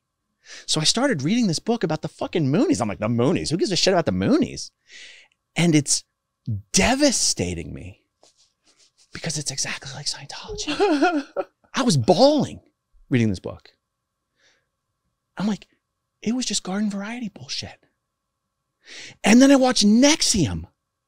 And I'm like, what the fuck? These guys are even using the same This language. is why you're still in Scientology? Wait, what? Are you still a member of Scientology when you're watching this stuff? No, no, no, no. Okay. I'd already believed, I- I'd already like, You'd already got out. Okay. but I didn't realize that I still thought, yeah, it was bullshit, but I didn't realize how much I was going, but it's really special bullshit. Right? I didn't realize that I still had this, but it's really unique. So I read Combating Cult Mind Control, Mhm. and I'm like, oh, Scientology is just garden variety bullshit. And then I watch NXIVM, and I'm like, what the? Now NXIVM came after, so NXIVM Right. was more likely a ripoff of not just Scientology, but but have you have you ever heard of Landmark and Est, uh, at Landmark or Erhard uh, Seminar Training Est? You ever heard of those? No. Okay, they're sort of like anyway, they're NXIVM like organizations. Est and Landmark came from Scientology. NXIVM came from Scientology, and I believe probably Est and Landmark. Okay. Um, uh, yeah. So, well, um, so you're saying which one is more closely related? No, Hmm. it's even worse than that. They're all the fucking same. They're all the same. yeah. Just mix and match. Yeah. And and the fact that so many of these high control organizations, whether it's the Moonies, that does I, I do believe they consider themselves a religion. Like I do believe they consider their leader to be more of a religious leader. It's funny, Scientology calls itself a religion, but they don't consider L. Ron Hubbard to be a god or a prophet or anything. Mhm. And then you have Buddhism. I don't know. How, what, what do Buddhists think about Buddha? I don't know. But clearly they don't think he's a god because that's what it says there. Mhm. So, uh, so whether these organizations call themselves religions or not, the fact that so many of them have been able to spring up with using the exact same methodology, the exact same recruitment method, the exact same way of controlling behavior and information and thought, does not speak very highly for the the human organism. no, it really doesn't, man. And that's a fucking wild thing to think about. How gullible people are. And then, not to piss off all the other viewers now, and then you go, and what do the other world religions believe? Mm-hmm. And is it really much crazier? Is it Right. really much crazier? Now I realize we can separate belief and act and behavior. The Roman Catholic Church doesn't have a policy of utterly destroying their enemies and manufacturing evidence against them. Do you see what I'm saying? hmm So just because an organization might believe some crazy shit doesn't mean they're in the same category as Scientology. Right. Um, but but again, it goes back to your question: which one is more closely related to Scientology? What strikes me isn't that any of them is most closely related. What strikes me is how similar they all are. Right. It's creepy. Well, we don't have any evidence of David Miscavige running through all, all, a bunch of girls and branding them with his logo. At least there's in that. fact, we know he doesn't. but if his wife, the weird thing is, if his wife, he sent his wife out to some random prison camp, he's he's got to be getting it somewhere. So I'm sure he has a line of assistance. Mike Rinder has a different opinion on that. Really? Yeah, What is and you know, Mike Rinder and I we're colleagues, we're friends. Like we both were on the Aftermath Foundation together. You know, we vacation together. What so. is his opinion on that? El- uh, Miscavige is almost following exactly in L. Ron Hubbard's footsteps. Mis- uh, uh, L. Ron Hubbard banished his wife as well. So you remember, um, I'm sure you've read about Scientology having infiltrated the federal government and the IRS. Different Yes. than different different than suing the IRS. I'm talking about infiltrating the government, not suing them, infiltrating. How do they infiltrate? Um, they sent people in to go work for the IRS and Okay. the FBI and the DOJ and the FDA. It was the largest infiltration of the federal government in history. Wow. 11, it was called Operation um, Snow White. 11 Scientologists went to prison, including L. Ron Hubbard's wife. You didn't read about this? No. Ooh! 11 Scientologists went to prison, including L. Ron Hubbard's wife, Mary Sue Hubbard. L. Ron Hubbard never spoke to or saw his wife again. Threw her right under the bus. Wow. Those six years that LRH the, uh, was in seclusion, the last six years of his life, he had no contact with his wife during those six years. And he had cut her off even earlier than that. Like if you look, at he might want to Google, Google when um, Operation Snow White, when did those guys go to prison? Because remember, LRH went into seclusion in 1980. I'm almost positive they went to prison before that. Operation Snow White was a criminal conspiracy by the Church of Scientology during the 1970s to purge unfavorable records about Scientology and its founder, L. Ron Hubbard. This project included a series of infiltrations into and thefts from 136 government agencies, foreign embassies, and con- consulates, as well as private organizations critical of Scientology. What were you operating? Operation Freakout. This operation also exposes the Scientology plot, quote, Operation Freakout, because Operation Snow White was the case that initiated the U.S. government's investigation. Operation. Freakout is what they did to Paul, to journalist Paulette Cooper, which was exposed when the government raided uh, Scientology offices. when the FBI raided Scientology. Yes, that's how they learned what Scientology had done to Paulette Cooper. So Operation Mm, Freakout is what they did to Paulette Cooper. Operation Snow White was the name of uh, the operation they did to infiltrate the government, and it was it, it was essentially to find out the infiltration. The purpose of it was to find out what information the government had on Scientology in its files. And in some cases, they just wanted to copy the information so they knew it was there. But in other cases, it was just to remove the information. Wow, they were fucking wiretapping and stealing documents from the IRS, Yeah. the FBI, Holy shit! Oh, there's a picture of the document down there on the right. That's insane. And so when did they go to prison? If you scroll down, it would probably say aftermath and trial. Item number three there. Number three. 77. Um, no, no, no, no, no. On May 13th, Gerald, Gerald, well, that's Gerald Wolfe, guilty plea. So late late 70s we're looking at. Wow. That's fucking spooky, man. Oh, so where was I going with that? Oh, Miscavige, Shelley, L. Ron Hubbard, Mary Sue. So he's following in the footsteps of. Yeah. of- So and it's not like one once uh, once Mary Sue Hubbard went to prison, right? Once L. Ron Hubbard cut Mary Sue off, because also because Mary because Hubbard was sitting there going thinking Mary Sue is a liability to me. Mary Right. Sue has done this and that, and she's a liability to me. I'm going to cut her off.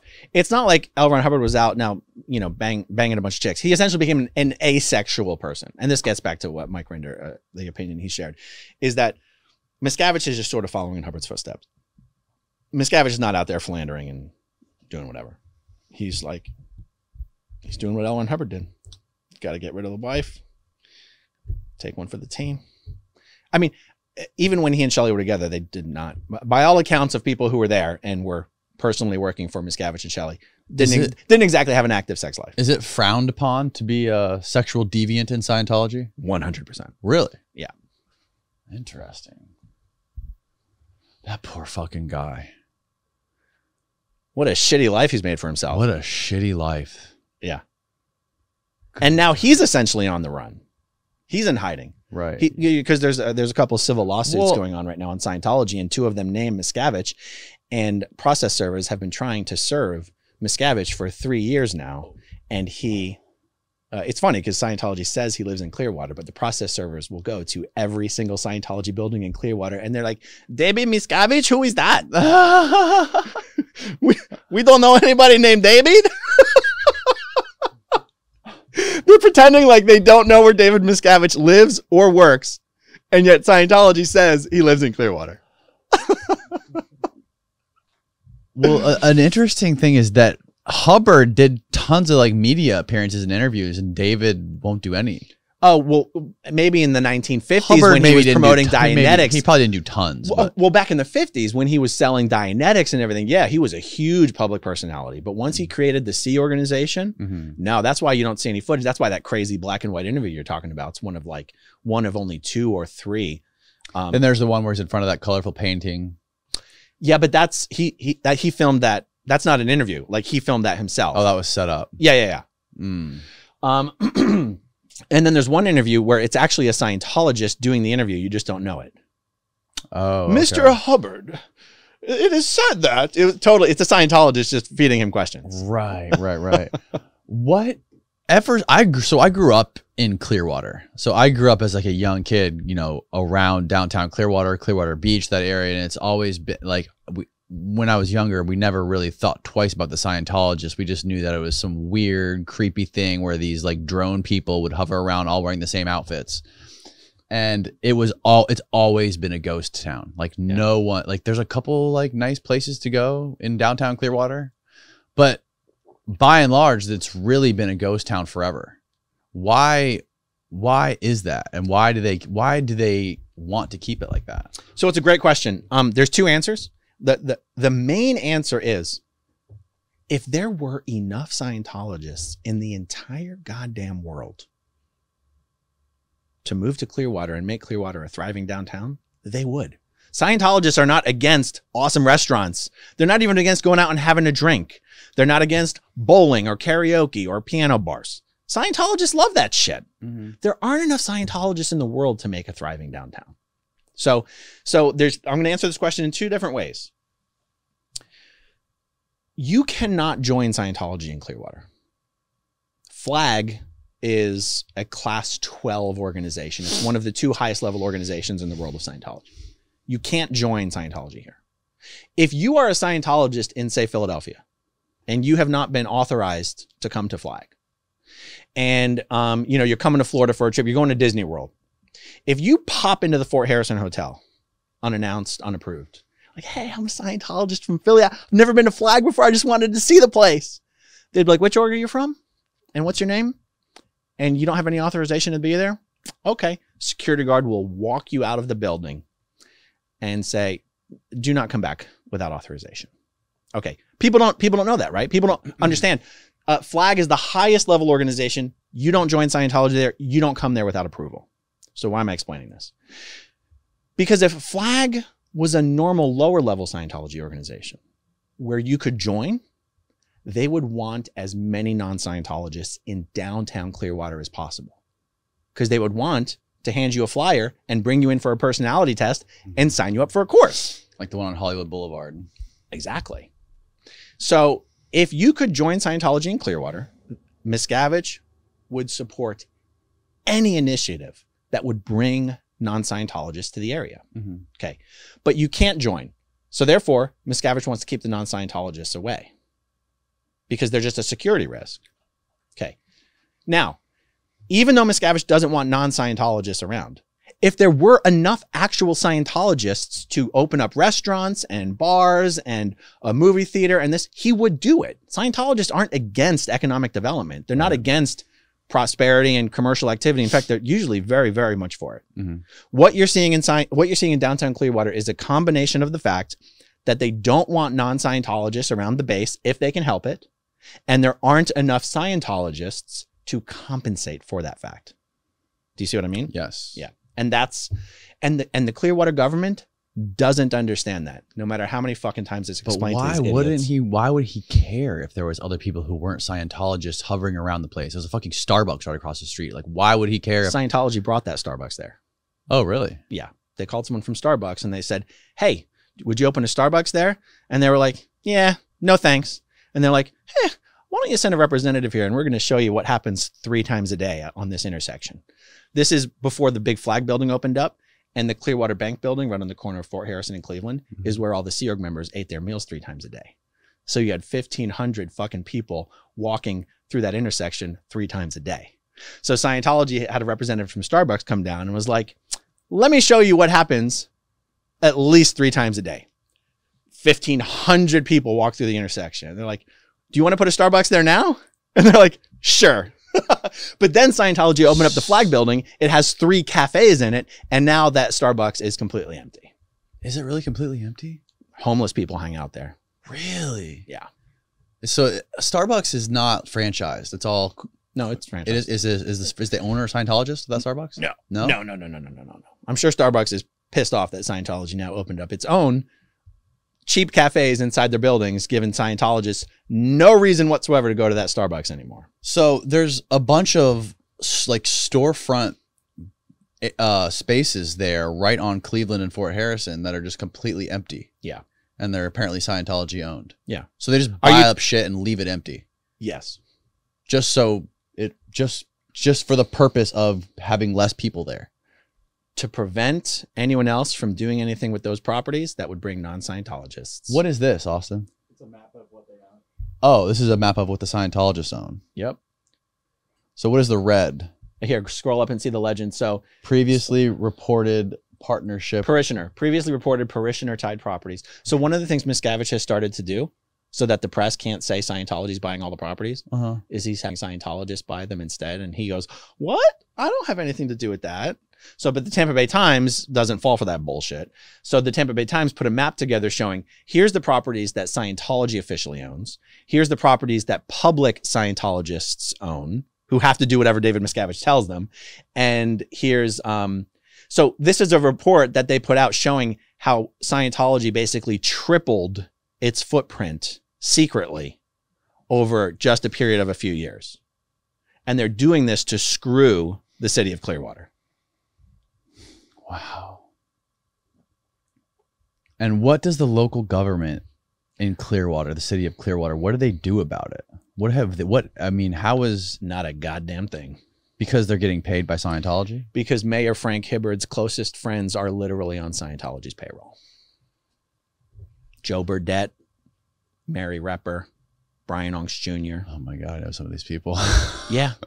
Mary Repper was Scientology's lobbyist when she ran Frank Hibbard's mayoral campaign. Joe Burdett works for Scientology. Brian Aungst Jr. represents the Scientologists who are buying up all the fucking property on David Miscavige's behalf. What? These people are pieces of shit. Taking money from a family destroying cult, going, What? I'm just an attorney. Oh, I wor-" it's like, yeah, okay. If you, you've also lived here for generations and you're helping this cult take over Clearwater, I don't want to hear. I'm, a, I'm just a fucking attorney. Right. And Mayor Frank Hibbard doesn't have any fucking balls. He's a giant pussy. And in private, he's like, oh, in private, he'll tell you a story about a time he once yelled at David Miscavige. Oh, you're such a fucking warrior. Thanks, dude. Hmm. Oh. In private, the guy hates Scientology. It's like, I don't care what you think about in private. You're the mayor of fucking Clearwater. Say something. Do something. Because the truth is, Scientology doesn't have enough members to have to control Clearwater. Scientology doesn't control Clearwater. There's never been a Scientologist on the Clearwater City Council, ever. You wouldn't know that because the press talks about everything Scientology is doing, rightfully so. And no one in Clearwater City government, other than Council Member Mark Bunker, will dare say anything negative about Scientology. I mean, so I, I tend to go, I tend to go, Mayor Frank Hibbard and his friends are the reason people think Scientology runs this town. Because if they used their platform and you know their their megaphone, their if they used their voices to make it clear that Scientology doesn't run this town, then people wouldn't have that fucking opinion. People have that opinion because they see what Scientology is doing and saying, and then they see everyone else doing and saying nothing. Right. So they go, well, Scientology, these guys must all work for Scientology, just like people think the Clearwater PD works for Scientology. Right. people go, well, these guys must be in Scientology's pocket or else they would be saying something, right? Mm. But they don't. They don't. Mayor Frank Hibbard thinks it's good enough that his friends know what he thinks about Scientology. That's not good enough, dude. You're not a private citizen. You're Mayor Frank Hibbard. Fucking speak up, dude. Stop being such a pussy. Right. Yeah. Isn't there some big development going on down there? I support that project. Yeah, there is. That's not a Scientology tied project. The reason I support that project is because it is something that will bring, potentially, we hope, non Scientologists back to downtown Clearwater. So if they're gonna, don't they people that are buying that and and redeveloping that area, don't they have to consider like local retail? And like the They local, are. There's first floor, commer- it's all going to be first floor commercial. so they don't give a fuck about like the down. They're not concerned about the what's going on in the downtown area with all those storefronts being bought and just left empty like that. Like the, the, The fact that there's like one restaurant there. There's maybe two restaurants there. There's a handful of restaurants there. And ironically, the restaurants actually do pretty well, do okay. Oh yeah, I love the I love uh what's it called? Clear Uh, Sky? Clear Sky. It's Clear Sky's good. amazing. Roxy's, I have um, Roxy's. You got downtown pizza. You ever go to downtown pizza there? No. it's it's it's just a couple doors down from Okay. uh, from Clear Sky. It is it is the it is the hope that this massive mixed use residential commercial project will sort of be the spark because you know it's not just residential commercial. There's a huge musical venue being built in Coachman Park, Right. like four thousands. It's going to be a Right. it's going to be a musical venue that world class musical acts can come and play right on the water. The hope is that you can force the economic activity. Like there will be economic activity there. Uh, it's still an unresolved question whether the, whether th- there will be success in spreading that economic activity up Cleveland Street. But what you can know for sure is that David Miscavige will do anything he can to sabotage and undermine and prevent that from occurring. And Hmm. this goes back to the question you asked before of, yeah, but why? Because most non-Scientologists have heard about missing Shelly Miscavige right, right, Right? and the documentaries and yeah. going clear Yeah. and Scientology in the aftermath. And Miscavige doesn't want Sea Org members walking down the street and someone going, Hey, have you seen Shelly Miscavige? now, a Sea Org member these days uh, probably doesn't even know who Shelly Miscavige is. Honestly, they've probably never heard Shelly Miscavige's name. They wouldn't be able to tell you what she looks like. They wouldn't pick her out of a lineup. But he doesn't want someone going, "Hey, how have you spoke? Can I tell you about our Lord and Savior Xenu?" Like, so if I'm going, this is random. If I'm walking into that Starbucks there, if I'm just going to a restaurant there, walking into the Starbucks, how do you, how do I tell out who's a Scientologist and who's not? How do you pick them apart? to me, it's very obvious, but it's a little hard to describe. It how they dress, how they stand, how they walk, how they talk. To me, it's obvious. I don't know that I could put it into words. Really? It's just a cultural thing. Um, Aren't a majority of the pedestrians down there Scientologists? it's weird. In some ways, I'm going to say yes. Like the majority of the people who live in those buildings are Scientologists. Are the majority of the people that you are going to see on the street in the middle of the day Scientologists? They're mostly homeless people. Mm. So one of the answers to your questions is, Yeah, but they're dressed nice. well, then they're probably a Scientologist, Okay. or or that, or well, but here's here's the reason why the answer um, is can also be no. There's some large employers that work in those downtown towers that Right. employ a lot of non-Scientologists. Right. So the Bank of America building and the SunTrust building has a company like, for example, KnowBe4 is a is a tech company. My brother-in-law works for that company. Okay, that's a Scientology run. Right. That's a sign. Yeah. Yeah. Stu, Stu Sjouwerman is the owner. Uh, he's, you know, he's one of the largest contributors to Scientology. So, but that happens to be an example of one Scientology company that um, doesn't force Scientology on its staff the way Postcard Mania, for example, does. Right. Postcard Mania is a big postcard marketing company. You've probably heard of them. I've never heard of them, For real? but I've heard a lot about KnowBe4, and it, it It's because it's a huge company. and he well because I, talked to my brother-in-law who was a I, he's a pretty good like big time guy there but he's not scientologist and he tells me about some of the shit and it's pretty crazy i don't i wouldn't say it like they definitely treat people a lot different who aren't scientologists 100%. You're not going to become a senior executive in that company without being a Scientologist. But if you're a non Scientologist and you're working there, you're not exactly going to have Scientology forced on you either. right They walk that, they do a pretty good job of walking Mm. that fine line, Mm. whereas other companies don't. But, but KnowBe4 has like a thousand staff. yeah So you've seen how empty the streets of Clearwater are on any given afternoon. I, I mean, like they're fucking empty, right? Mhm. Okay, so if you've got a hundred people walking down the street, I mean, that would be like a stampede in downtown Clearwater.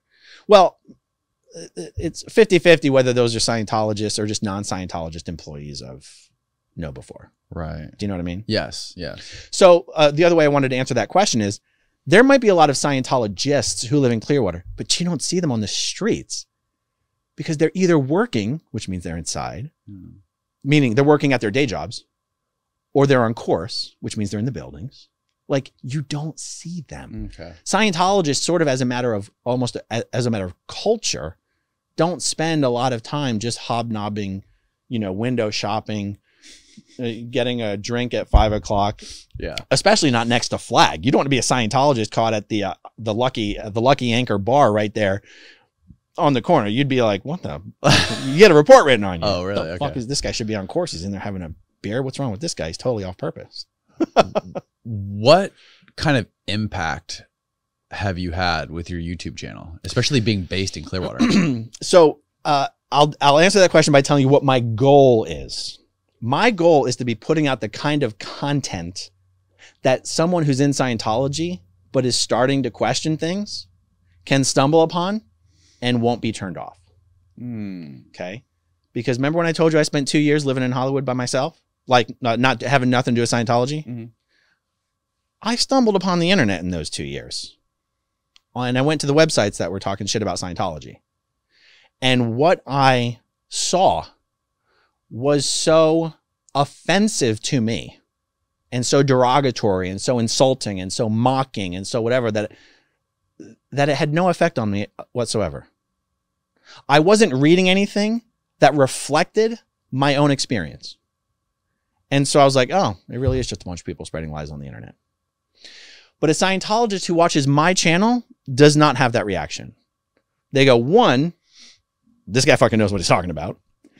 Two, he's really fair, actually. Right? And three, they go, and he's kind of fucking funny, so I'm going to keep watching this shit. you are very funny man. I, I fucking love watching your videos they're so amazing um and they're so entertaining too like the way the su- the variety of subjects that you have it's amazing that you're able to come up with so many different topics every single day I have a long list. I It's keep it on my phone. Every time I think of something, I put it on my list. it is wild so have you had people reach out to you from scientology what has that been like Well, this is the other part of the this is the other part of the answer of what my goal is. So I'm the vice president of the Aftermath Foundation. We help people who are escaping from Scientology. So it's one of the reasons why, even if I don't have anything interesting to talk about, I will think of something just to do a video because every video, I don't necessarily promote the Aftermath Foundation in every one of my videos, but I do in my opening titles. My opening titles, I know people are like, this is Vice President Aftermath Foundation, mm-hmm. aftermathfoundation.org. It's in the beginning of every fucking video. And then sometimes I'll actually plug the Aftermath Foundation and I'll show our little Mike Rinder bobbleheads. So the fact that I'm putting out content that will not repel a Scientologist and I'm promoting the Aftermath Foundation, that gives me a reason to keep doing content. I want people to know that if they want to leave Scientology, there's an organization dedicated to giving them any help they could possibly need. Hmm. And so this goes to answer the question you just asked. There are so many people that have reached out to the Aftermath Foundation who say that that's how they found out about it was Really? the YouTube videos. No way. 100%. And they tell me exactly what I was hoping. They're like, everything you said in your videos, I was like, that shit's true.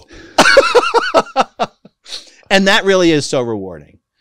Um, and it's why I, I, I don't call Scientologists names. I don't, I mean, some, I've gotten to the point now where I've been out of it for long enough that sometimes it is hard to talk about some of it without laughing. Mm. But that's just honest. It's goddamn funny when you start trying to describe some of this shit like Mm. Xenu and the alien psychiatrists run memory wipe stations on Venus. That shit is objectively funny. That is funny shit. And but even if you're a Scientologist and you see me talking about it and you see me laughing about it, you, you're gonna realize it's funny too. Right. It's not offensive that I'm Right. laughing about it when you say it out loud because Mhm. you're not used to hearing somebody say it out loud. You're just used to that's something Scientologists think, but you don't hear someone in the real world say it out loud. Sometimes that's all it takes to go, fuck, that that is some crazy sounding shit, Mm. right? Yes. So when you say has there been an impact on the YouTube channel, my impact that I'm going for is putting out content a Scientologist would that would re- resonate with an actual Scientologist, and continually promoting the Aftermath Foundation and trolling the shit out of David Miscavige. A lot of a lot of what I do is like because I know he watches this shit, and and even if there's a video he doesn't watch, someone in the Office of Special Affairs is watching every video I put out, anything Chris Shelton puts out, anything Mike Rinder, Tony Ortega, Leah Remini. There are Sea Org members whose job it is to monitor all this shit. So that's why I'll make fun of David Miscavige's height every time I get because I want that Sea Org member who's doing his job and, and isn't questioning. I want a Sea Org member who isn't even on the fence yet to be like, this fucker is funny. I like I like this guy.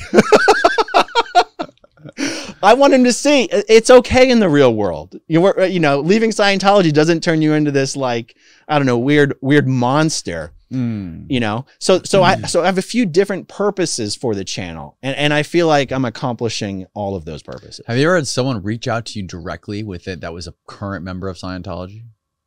We have helped people on the inside uh, spend months planning their escape.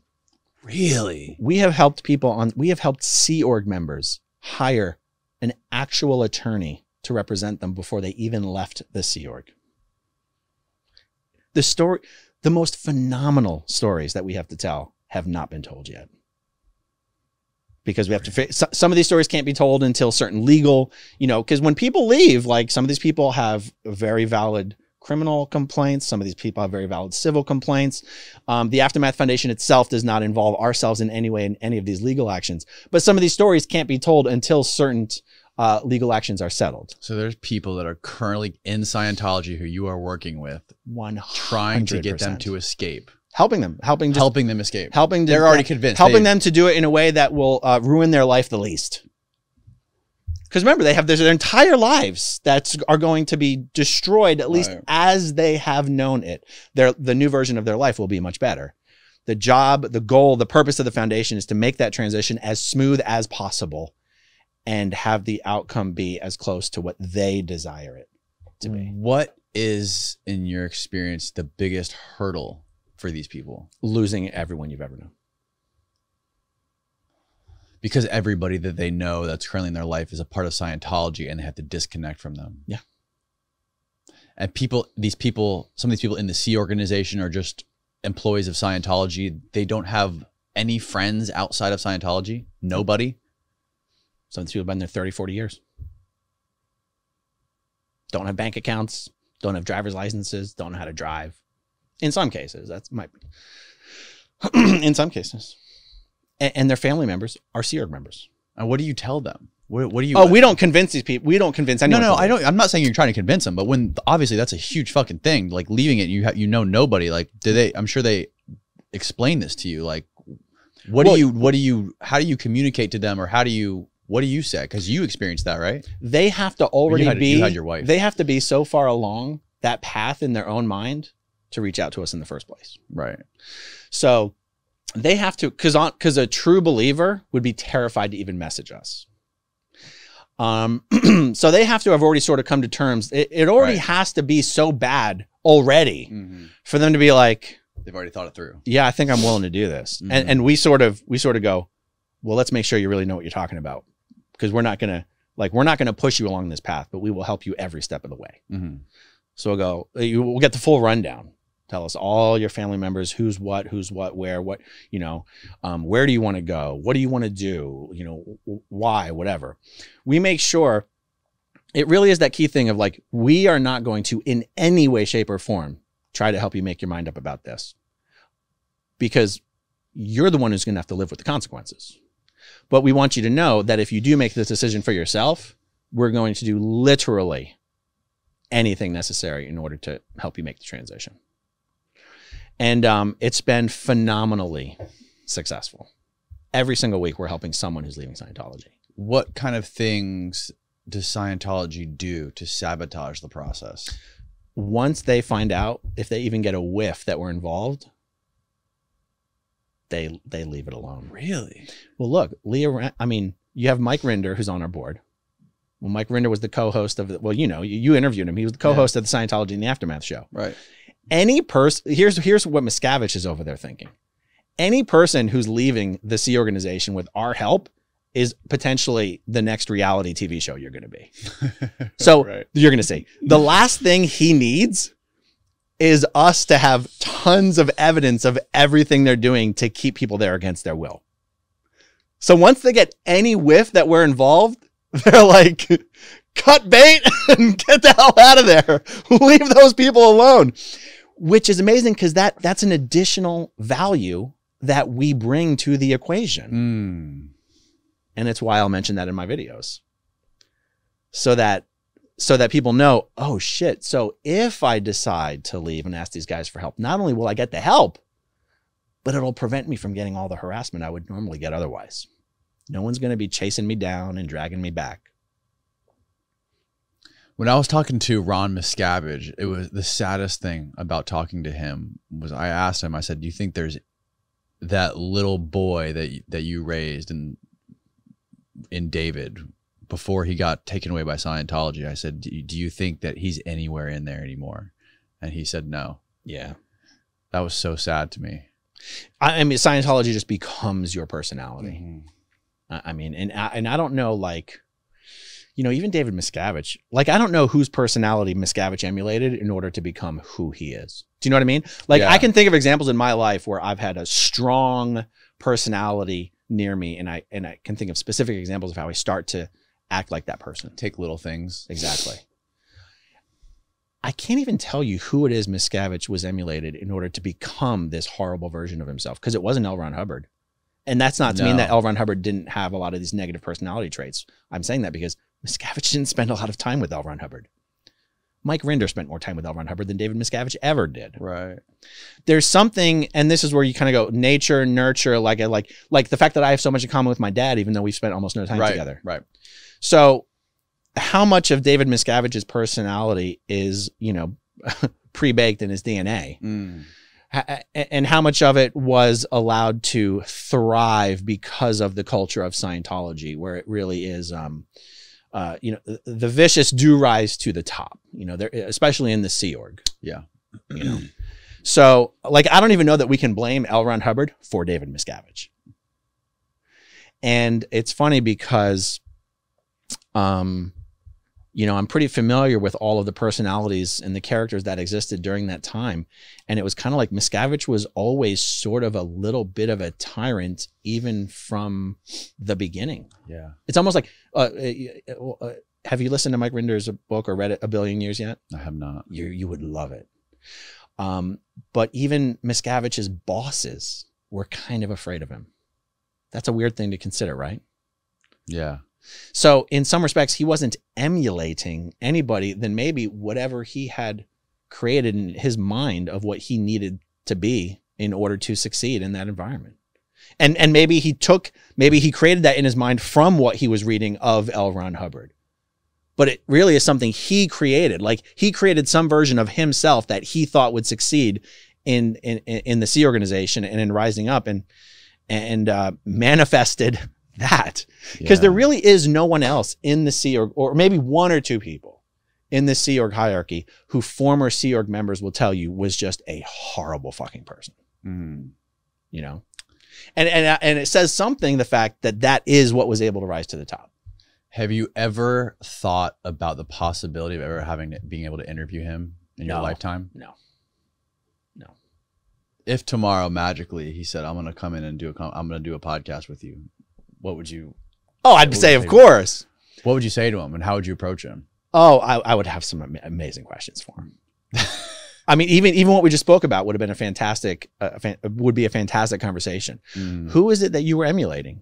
Who is it that Mm. you you know who who like he was so young when he got into scientology. How did he even form a concept of what what it would take to succeed without question it came from lrh policies but it would be Mm. interesting to hear him talk about how much of his idea of the right way to do things um, came from L. Ron Hubbard versus maybe came from other people or just maybe it's like, oh, I was, I was always born to lead.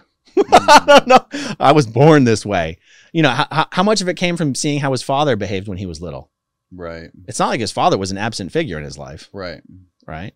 So, how much of those personality traits maybe we were baked in before they even got into Scientology?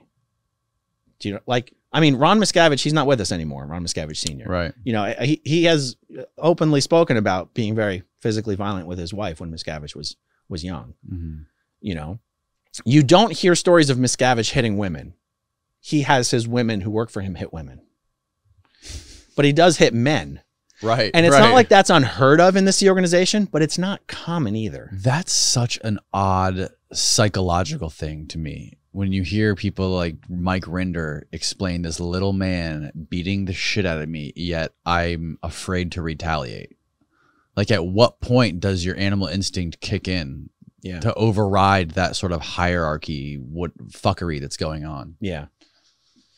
It's Yeah. so weird. It's so fucking weird. I mean, that just that just goes to show how powerful the belief system is, and how how much you can just blindly believe in this shit when you think this little when this fucking guy is beating the shit out of you and you won't do anything to stop him. Yeah. Or the that I mean, obviously, it could be the retaliation of everyone else standing around him that also is you know a believer. It has more to do with the fact of truly believing that be having the privilege of being allowed to get Scientology auditing and and and thinking that you can only do that in the Church of Scientology and thinking that the process of Scientology auditing is the only way it is ever possible for you to break the cycle of endless amnesia. If you truly believe that, it's not a matter of retaliation. It- it- it's not a matter of physical retaliation. It's a matter of if I hit this guy back, I'm going to be expelled from Scientology. If I'm expelled from Scientology, I won't be allowed to get auditing and do the bridge. If I can't get auditing and do the bridge, I'll never get unplugged from the matrix. because like if you're at the lower levels and your senior hits you, you can hit them back. Right. You're not going to get you'll get in trouble, but you're not going to get expelled from Scientology, hmm right? So they don't have that um they don't hold that existential thing over your head. But that's the reason why nobody would retaliate against Miscavige. It's because you go, oh, then I'll be expelled from Scientology. Now, if you happen to be a Sea Org member who, for whatever reason, you stopped believing the bullshit and you were ready to just get out of there anyway, oh, yeah, you could just slug him.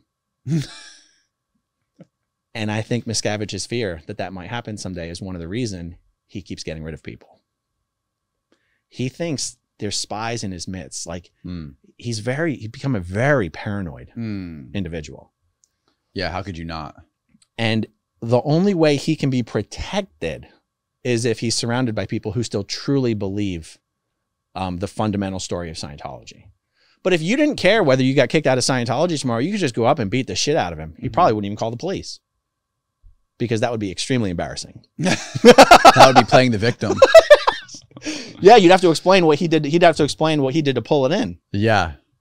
So honestly, I- I- like really, that- is a, a threat that Miscavige lives with. If, if there's someone in his environment who does not give a shit whether they get expelled, Uh-huh. He's actually in a lot of danger, which is why he's sort of become a recluse. right.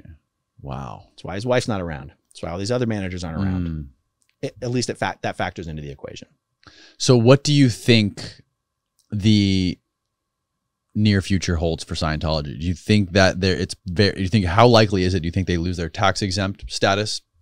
And and you, I mentioned you mentioned it would be like you believe it's going to be within the next three years. And do you think what do you think happens after David Miscavige? So if he kicks the bucket, what happens then? I think. Um, well, do you want me to answer that part directly or the early part? Uh, answer the tax exempt part first. So- do you think that will actually make it buckle? Um, it will greatly speed the decline of Scientology. We've already seen a decline in terms of membership. We have not seen a decline in terms of assets. Right? As long as they have tax exempt status, their their assets will not go down. They have almost no operating costs. They have no staff costs. They have no property tax. They have no income tax. They have no tax. Right? Their operating costs are very very low. So I think the decline in Scientology in terms of membership will continue unabated no matter what. Um, we won't see them taking a hit on assets until they lose their tax exempt status. I do not believe Scientology has enough operating cash flow to cover the costs of paying property taxes. Mm. They just don't. They've purchased so much goddamn tax so free much property fucking property. It's insane. that that they ha- they have enough reserves to pay those bills for probably a lot of years, but they don't have enough cash flow to cover it. So that's what I'm saying. You take away the tax exempt status, all of a sudden, not only is their membership declining, all of a sudden their dollars are declining as well. Now, how long could they hold on for? I don't know, ten. who- Who knows? Right. At that point, who cares? It's Right. just they're in life saving mode at that point. Right. Now, on on the other thing, on the, the litigation side, so I would expect to see criminal charges brought within the next. I, I'm just being sort of conservative, three to five years. With that, for me, ninety percent confidence we see criminal charges in three to three to four years. Okay. Now, once those charges are brought, it's anyone's guess how long Scientology can drag that out. That's why I said it took five years just for Danny Masterson's Right. shit to come to court. Right. And at this point, remember, Scientology is now fighting for its life again. So no holds barred, pull out all the stops. So I don't know. Could they drag that on for 10 years, 15? I don't know. So what I can't speak to is the timeline, sorry, the timeline of the process of how long it takes to prosecute those things. And then also, just because you get the criminal prosecution, it's not like that's an automatic slam dunk. Now the IRS automatically starts doing something. I just, there's a very high, I have a very high confidence level that criminal prosecutions and reviewing and revoking the tax exempt status will be correlated, if not, there'll be correlation there, if not causation. Okay. So I, I just think that ball's rolling. And to some extent, I sort of go, it doesn't matter how fast the ball rolls. The ball's rolling and it will keep rolling. Mm. So it's one of the things like, uh, it's one of the reasons why I, I just think one of the purposes of my YouTube channel is just to keep trolling Miscavige. I just keep putting it out there. It's coming. We're one day closer. Today's one day closer. I don't know what the day is, but we're one day closer. Um, and I truly believe that. I like if I didn't believe it, I wouldn't take any joy in saying it. Mm. it's amazing, man. And um, so the tax exempt status. So I answered the tax exempt status. I answered the uh, the membership's been declining for since like Yeah. What happens if he dies? oh I think we actually see a kinder, gentler version of Scientology. That's my opinion. Hmm. Um, because like I said, uh, uh, Scientology, you already have to be like such a strong believer. Or, I should say, the brand of belief that you get in Scientology, because it has this matrix like quality to it. Like it's real, like the matrix is a really good analogy. Mm-hmm. So in the matrix, you get unplugged. When you're in the matrix, you're living this great life, but it's but it's false, right? Right. You get unplugged. Well, life sucks. You're eating this snot for food, but you're free. But it's a shitty existence. Okay, right? But they believe enough in the value of unplugging people from the matrix that they dedicate their entire lives to it. Okay.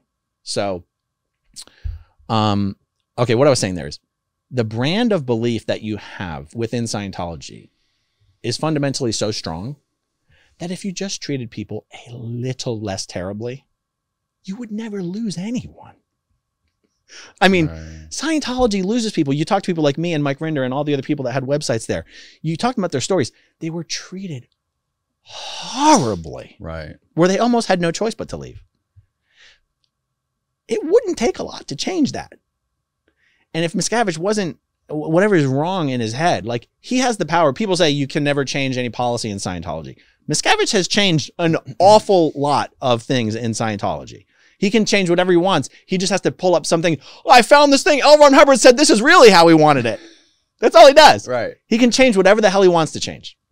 If he didn't have something loose in his head, he could make a kinder, gentler version of Scientology that wasn't so hell bent on destroying families. Mm. There's good faith arguments to be made on both sides of it, on why that could never happen and why that could. And and honestly, I I can I understand both arguments.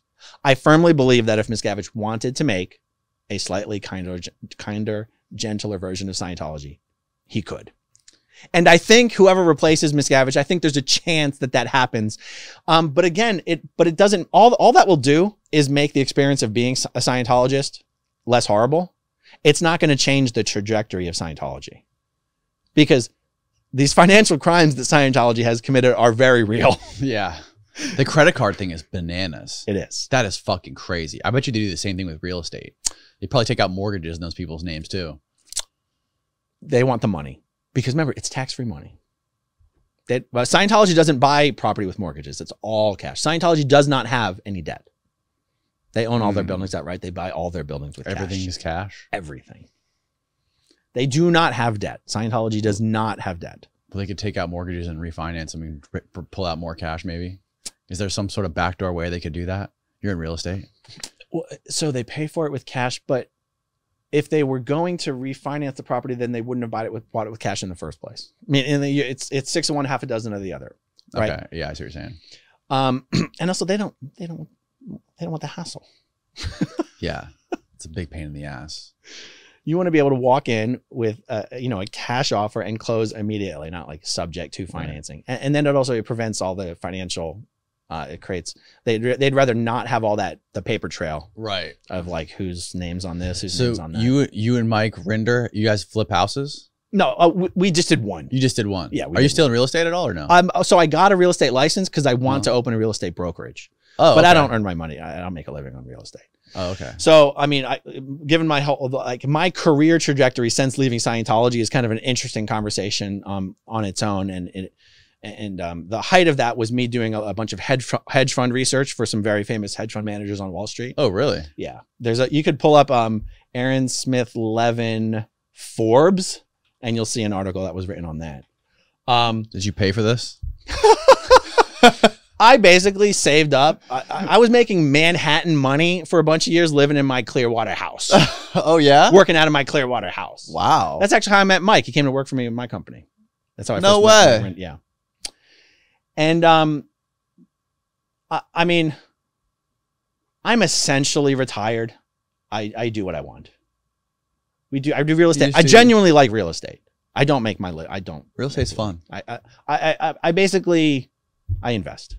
Yeah. Like I wasn't in there with a hammer doing a real estate flip. I was paying for the job. My partner was doing the job. Right. Right. Right. Right. Um, and so, and now I'm doing so much YouTube. I'm loving doing YouTube. YouTube is fun. Too. Okay. Is this this is not Forbes? No, that's not it. Forbes. Come on, Forbes. Austin. Forbes. Oh yeah, I ran for Clearwater City Council last year. Last year? Yeah. Oh, really? Yeah. What made you want to do that? I wanted to prove to the world that Scientology does not run Clearwater, and there aren't even enough Scientologists to ever get a Scientologist onto the city. Would you ever be the mayor of Clear- Clearwater? I wouldn't want to be. Mayor Hibbard is not running for reelection. Oh no. Here's the problem Clearwater's political establishment has been hopelessly corrupted by Scientology.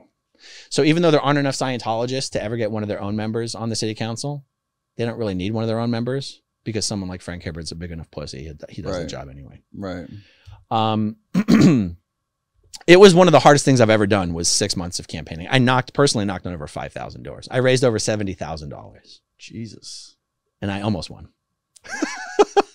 Who beat you? uh, Lina Teixeira. She beat me by less votes than there are Scientologists, and every Scientologist voted for her.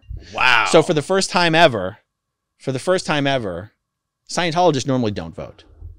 But for this election, because I was running, Woo, They baby, they were voted. voting that time. and it was a midterm election where the voter turnout was very, very low. There you go, right at the top there. Yeah, just we don't have an account, oh, Oh. fucking Forbes, goddamn paywall. so it just keeps spamming me with this. So. Oh, I don't have an account either, but oh, But- do you not have an ad blocker or oh, disable the ad blocker? Since they have, Yeah, I keep hitting it and it'll just come back. But you you probably have an ad blocker built into your I don't uh, think- we Chrome, don't, right? We don't have ad blocker, do we? yeah, there you go. Oh, okay. Yeah, yeah. Just um, disable it for that one website. Uh, let me see. I got a secret here. Oh, okay. Anyway, Anyways, um, I've been very fortunate in that me leaving Sci- Scientology was never able to financially crunch me. Like the moment I left Scientology, I started making five times more money than I was making before when I was in. that's amazing. I'm sure it goes like that for most people who leave No, because they're making usually the 50 cents a week. Oh no Oh, no no no no no! Remember, there was a time after I left the Sea Org, I was still a public. I was like a public Scientologist for a handful of years Right, because me right, and my right. wife had a baby. Yeah. So I started working for this guy who was had a, was in the hedge fund world, and I worked for him for five years, and I ran his hedge fund real estate, uh, hedge hedge fund research Mm. business. In that five years, even though I had no high school diploma, uh, didn't even know how the hell the stock market worked before I started working for this guy. In five years, I was able to learn enough, do a good enough, and establish enough connections that once, uh, uh, once he had to fire me because I was being expelled from Scientology, he was a Scientologist. Mm. I had enough connections in, in the industry that they helped me get set up in my own business. Oh, okay. Like in, in three or four weeks, I had Right. my first client, That's awesome. Yeah. and um, Is this the article you're talking about? Yeah. Oh, okay, cool. William Ack. Will- How do you say his last name? Bill Ackman? Ack, Bill Ackman. Bill Ackman. Okay. this is just an example of uh, a lot of the work that gets done in the hedge fund world is not work that's supposed to be made public because it's research and it's not like the best way to do research isn't letting everyone know that you're doing research. Mm. But this is one of the only things that's been publicly published about, so I just mentioning it as an example. Uh, Bill Ackman is one of the most famous billionaires on Wall Street. Yeah, I think I've heard of him. I don't know much about him though. It's a whole Herbalife thing. The whole Wall Street thing just gets so confusing to me. I understand real estate. I don't understand fucking stocks and crypto, and I understand a little bit just as like the the amount I need to understand it. Yeah, I understand stocks. I know enough well. not to get involved. I Yeah, understand. I understand like general. I understand stocks. Like I understand, but like how people can dedicate so much time of, to fucking following and buying low and selling high, all these different stocks, chasing them and and trying to time the stock market. That gets fucking that turns into a headache for me. It, well, yeah, I mean, uh, historically speaking, it's simply impossible to time the stock market and outperform and outperform just normal index funds. Right. impossible. Exactly. But when you're someone like Bill Ackman, who's you know, when I was working, um, when I was working for his fund, like my, like he contracted with my business to do research for him. He was managing twenty billion dollars, and, and not only do they get a performance fee, they take an administrative fee. So it's two percent. What's two percent of twenty billion? Is that forty million? Is that Two percent two percent of? eh, That's just the annual fee for managing the money. Let me see. of twenty billion. That's a Yeah, lot. whatever two percent. I'm a, I grew up in a cult. I'm not good at math. Is now. it twenty? maybe twenty million? Does that sound right? That's just the annual fee. That's fucking crazy. and then you take 20% of the profit. You take 20% of the upside. So is that 400 million or 40 million? I can't tell. That's four hundred million, I think. Well, there you go. That's that's, that's his annual fee. Where's the comma go? oh my god, that's hilarious. so you know when you're traveling in that in that space, it's like, well, that's why they spend all their time trying to pick stocks. It's very lucrative, Mm, even if you're not succeeding. That's Yeah. his that's his fee. yeah, That's not that's his fee for showing up. that's fucking insane. Um, so anyway, I, it, it's a fascinating world, and it's also a world that the more you understand it, the more you realize it's all bullshit. Yeah, it really is all bullshit. And once I was able to see how much bullshit was involved in that industry, I haven't been able to dedicate even one minute of time trying to dig into uh, crypto because I'm like, it's just bullshit on top of bullshit. Oh my god. and it doesn't is. it doesn't mean Bitcoin won't be worth a million dollars in ten years. I'm not. Yeah. You never know because it's bullshit. No, but real estate is a lot of fun, yeah, especially. I mean, I guess around here, it's crazy. anything you're doing that you're not like having to do for your next meal can be fun. Like Mhm. imagine if you're in the real estate business, but you're grinding and it's and you, you you know your emotional state is really tied to the the you know the the fluctuations of the industry. I imagine it can get to a point where it's not fun. right. But if you're just doing it because it's fun, then it's a lot of fun. Yeah, it can be very stressful if you're chasing something like you're chasing like 1031, trying to evade tax, trying to avoid paying taxes, and and doing it like on, on a humongous scale. Like when you're when you have like to the point where you have fucking staff involved in flipping hotels. Yeah, and then you get gets crazy. and then you start getting over leveraged, and now Yeah. you you have a lot at risk, and you can lose it all. And it's like, yeah, but if you're just doing all it's a cash, fun hobby. but if you're just doing all cash deals, and it's you know. You, your your livelihood doesn't depend on it, Mm. and you can pick and choose what you want to do, and, and then you're like you're, you're getting all of the fun with none, And you're getting it's all the upside and none of the downside. and it's easy to understand. I think what makes it more appealing is it's tangible. Yeah. It's like you're in this place, you ha- you own this plot of land with this fucking piece of construction on it, artwork, whatever you want to call it. Like it's just it's something different, something intrinsic to it that makes it more fun. I think. Yeah. So like I want to I want to open up a brokerage because it occurred to me that it's like real estate. Okay, can we? You want to talk about real estate for a minute? Sure. so I started doing these house flips with my buddy, and at first we started using a realtor, Mhm. and um and I was like, the realtor always wants credit when the house sells immediately, and at first I'm like, wow, this realtor's doing a great job, awesome, but then it's a different story when the house doesn't sell right away. Now it's it's something wrong with the house here, and this is wrong, and this is wrong, and I'm thinking to myself, whoa, whoa, whoa, whoa, whoa, whoa. So you're saying the house isn't selling because something's wrong with the house, but doesn't that mean that the only reason the house sold is like like you want all of the credit when it goes right, but none of the blame when it goes wrong. Right. This is a scam. You'll see where I'm, you'll see where I'm going with this. This is a scam, right? So we switch another realtor. Same story. They always they always want to talk about, oh, I did a po- I, I we market the property here, we market the property there. Anyway, after doing enough properties, I realized, wait, properties really sell themselves. Mhm. Realtors don't sell properties. This is a fucking scam. So then I started not using realtors and I just started doing I would find a I would find a broker who for 100 200 bucks would let me put the property on the MLS. And I was the property owner, so I'm not under any state regulation. I can show, I can sell my own property. And so I started selling my own properties and I was like, "Oh, the real estate industry really is a scam." It really is. Real estate brokers are gatekeepers for the MLS. The MLS populates Zillow and all the other websites. The, the real estate industry continues to exist because you have to have a broker's license to access the MLS, and the MLS populates all the websites. So it didn't occur to me for a long time. I was like, I had this bad opinion of realtors, not because there's anything wrong with them, but because I was like, oh, it's a, it's kind of a scam. You you want you want twenty thousand dollar commission for one week of work, but I just paid this guy hundred dollars to put my thing on the MLS and I did the exact same thing. Okay. I was like, this is a scam. So then one day I woke up and I was like, but wait a second. It's a scam that's not going anywhere. No. The brokers will always be the gatekeepers to the MLS. End of story. Mm-hmm. And so then, even though it never occurred to me, oh, I want to be a realtor, I, I, it never occurred to me because I didn't have a high opinion of what the realtors were doing. But I woke up one morning and I was like, fuck being a realtor. I want to be a broker. That's where it's at. But then I found out that in order to get a broker's license, you have to have a realtor's license for two years. And I was like, oh shit, I should have started. I should have. God So I, damn it. so I got a realtor's license. And that's why sometimes I will promote Dream Realty. Uh, and, and, and a good buddy of mine who's a former Scientologist owns Dream Realty. And he's like, hey, hang your shingle with me. He's like, if you help me grow the business, I'll give you a piece of it. And and if you just want to, you know, o- Yeah. open up your own when you can, do that as well. And I was like, sweet.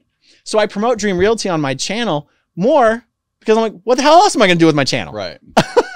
I saw the funniest meme on Instagram the other day. It said uh 90% of the girls on Instagram that have realtor in their bio are are 30 heartbeats away from starting an OnlyFans.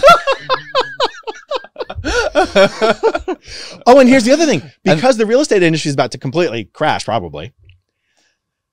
The people who actually rely on it for their, you know, their next meal, they're going to wash out of the industry and have to go somewhere else.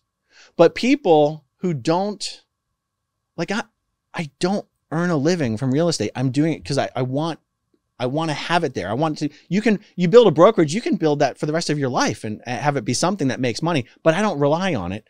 So I'm not going to wash out of the industry when the tide goes out. Right. Do you see what I mean? Yeah. So for people who can stick with it, there's so much more upside when things come back. Mm. Yeah, I saw something too, in an article recently about there's more more and more like there's a abundance of real real estate agents right now for some reason, especially in Florida for it's some reason. insane. And uh, so many of them have made like less than $10,000 this year. Yeah. I've gotten, I've probably done five deals just from mentioning Dream Realty on my channel for like three weeks, eight months ago. like I haven't mentioned Dream Realty on my channel in many, many, many, many months. Well, because it got to the point where I was like, yeah, I don't really need to. It feels cheesy doing it, right? Yeah. But now I, but then, but then Atlas VPN reached out. I was like, hey, you want to do a sponsorship? I was like, fuck yeah. And then Ridge Wallet reached out. You want to do a sponsorship? I'm like, Ridge Wallet. It's like all my favorite sponsors. and um, but I will eventually get back to promoting promoting the um Dream Realty. Just honestly, just honestly for fun. Oh, but that's what I'm saying. I mentioned it on my channel for like maybe a one month period. I mentioned it for everything I uploaded, like for maybe four weeks, like eight months ago. But because those videos are always there, you know, people can watch a video you uploaded nine months Oh ago. yeah, of course. I still get leads. I still get leads from those videos. Yeah. it's amazing. That's I guess having a platform actually uh, has some value. So is your audience on YouTube are uh, how much of are they just people that are fascinated by Scientology in general or what would you say like the main audience where do they come from? judging by the comments, it's a, a lot of it is they're fascinated by Scientology. That, I mean, that, but I would say, but I'd say it's not a majority. A lot of it, but not a majority. Hmm. Some of it is they have a similar involvement. They have some experience that they consider similar, like whether they're in a cult. You know, some people are a part of some really far right wing Christian organizations that they feel are cults. Right. A lot of people, or, or even honestly, sometimes just bad relationships where they it was sort of a cult. What kind of right-wing organizations? Oh no, I'm, I'm not even. Th- I'm thinking of like like um. The, uh, okay, so my friend Chris Shelton, he's done videos. There's some like there's some organization called Quiver Quiverful. It's like some Christian. Huh. You can always find some crazy. When I say far right, what I really mean is extremist. I don't mean politically right. Oh, okay. um, uh, extremist Christian cults. I, I couldn't even give the names. I'm just saying, like you know Right. where um. Well, I mean, Quiver Quiverful is one real example. Okay. I've seen uh, I've seen Chris Shelton specifically interview someone um, from the Quiverful organization or whatever. Okay, so I was saying some people are fascinated with Scientology. Some people have something in their history that it wasn't related to Scientology, but the way I talk about Scientology, it's almost like if you watch NXIVM. If a Scientologist watches NXIVM, they're going to go, "I don't know anything about NXIVM, but boy, this sure reminds me of Scientology." right. So a lot of people have that reaction when they watch my Scientology Oh, videos. okay. I don't know anything about Scientology, but boy, this reminds me of this other thing I was a part Mm. of. And some people are like, I don't give a damn about any of this, and I don't know why YouTube served this up to me, but you're hilarious, Yeah. and I just want to keep watching your shit. the biggest thing I took out of it is uh, out of understanding, like like seeing the connection between all these big cults is how similar it is to people's uh fucking political ideologies nowadays in America with left and right. Politics has gotten very cold. Especially since Trump, it's become super culty. Not just with people that follow, like were hardcore Trump supporters, but people that were anti-Trump. It's almost just as bad, if not worse. totally. It's insane. And there's there's like this binary between left and right, and you have to fall in order with each of these things, and you can't fucking talk about and talk about or agree with anything outside of that fucking bubble. It's so fucking similar. It, it is similar, and it goes back to what I said before. Like when you look at all these examples, it doesn't leave you with a very high opinion of the the human experiment, the human organism, and and in politics, it's gotten so. What, what, what, I mean, culty is the right word, but like, I have a rule on my channel: I don't talk about politics. Not because I don't love talking about politics, I do. But it doesn't. You could say something with the best of intentions and think you're being so supremely fair and right down the middle and just making a joke, and you're you're gonna piss off so many people. Is that why you don't want to talk about it? Because Oh, yeah. you want to piss people off. That's right. I go, you know what? That's not why people came to my channel. Why should I start turning people away? Like, I, I really like, I'm going to interview Steve Hassan sometime soon, right? I mentioned he wrote the Combating Cult Mind Control, right. but he also wrote a book called something like The Cult of Trump. And I'm a little nervous about having him on because I know he's going to fucking talk about that shit. Mhm. And I would love to talk about that shit, but not in front of my audience. so Not, I don't, and, and, I, I and don't when I understand say, why are you afraid of pissing people off on the internet though? The internet is full of people that are pissed off and like to be pissed off and gravitate towards things that piss them off. No, you're right. But if you grow a channel and a brand doing that, well, then that's who your audience is. They've come for that. I've grown my channel talking about Scientology. If I now do a 180 and I start talking about politics, no matter where I go with it, people are going to go, well, that's not why we fucking came here. Even if you have a balanced perspective on things, you think they would still think that? You think it's balanced. I think it's balanced. If I made you- a joke I'm about saying- I'm I made a joke about chiropractors this week. I've been taking shit all week for it. You know what I said? Well, chiropractors I said are- Dr. are Eric I said Dr. Yeah. I didn't think it would be so fucking controversial to make a joke about chiropractors. Right? I said I said Dr. Eric Berg is a doctor the way L. Ron Hubbard is the world's greatest humanitarian. Yes. I said in other words, he's a chiropractor. and then Don't I get me wrong. I believe that about chiropractors, but chiropractors have helped me out. totally I've had a fucking I had Scientologists a- help people too. My mom was married to a chiropractor, so I can shit on them. He never did Isn't anything it, for me. Isn't it so funny though about chiropractors how they are like a legitimate? You could get a fucking uh, uh, a prescription from a chiropractor for and can get like all kinds of crazy medical devices. You can I get didn't that. discounts on beds, My bed.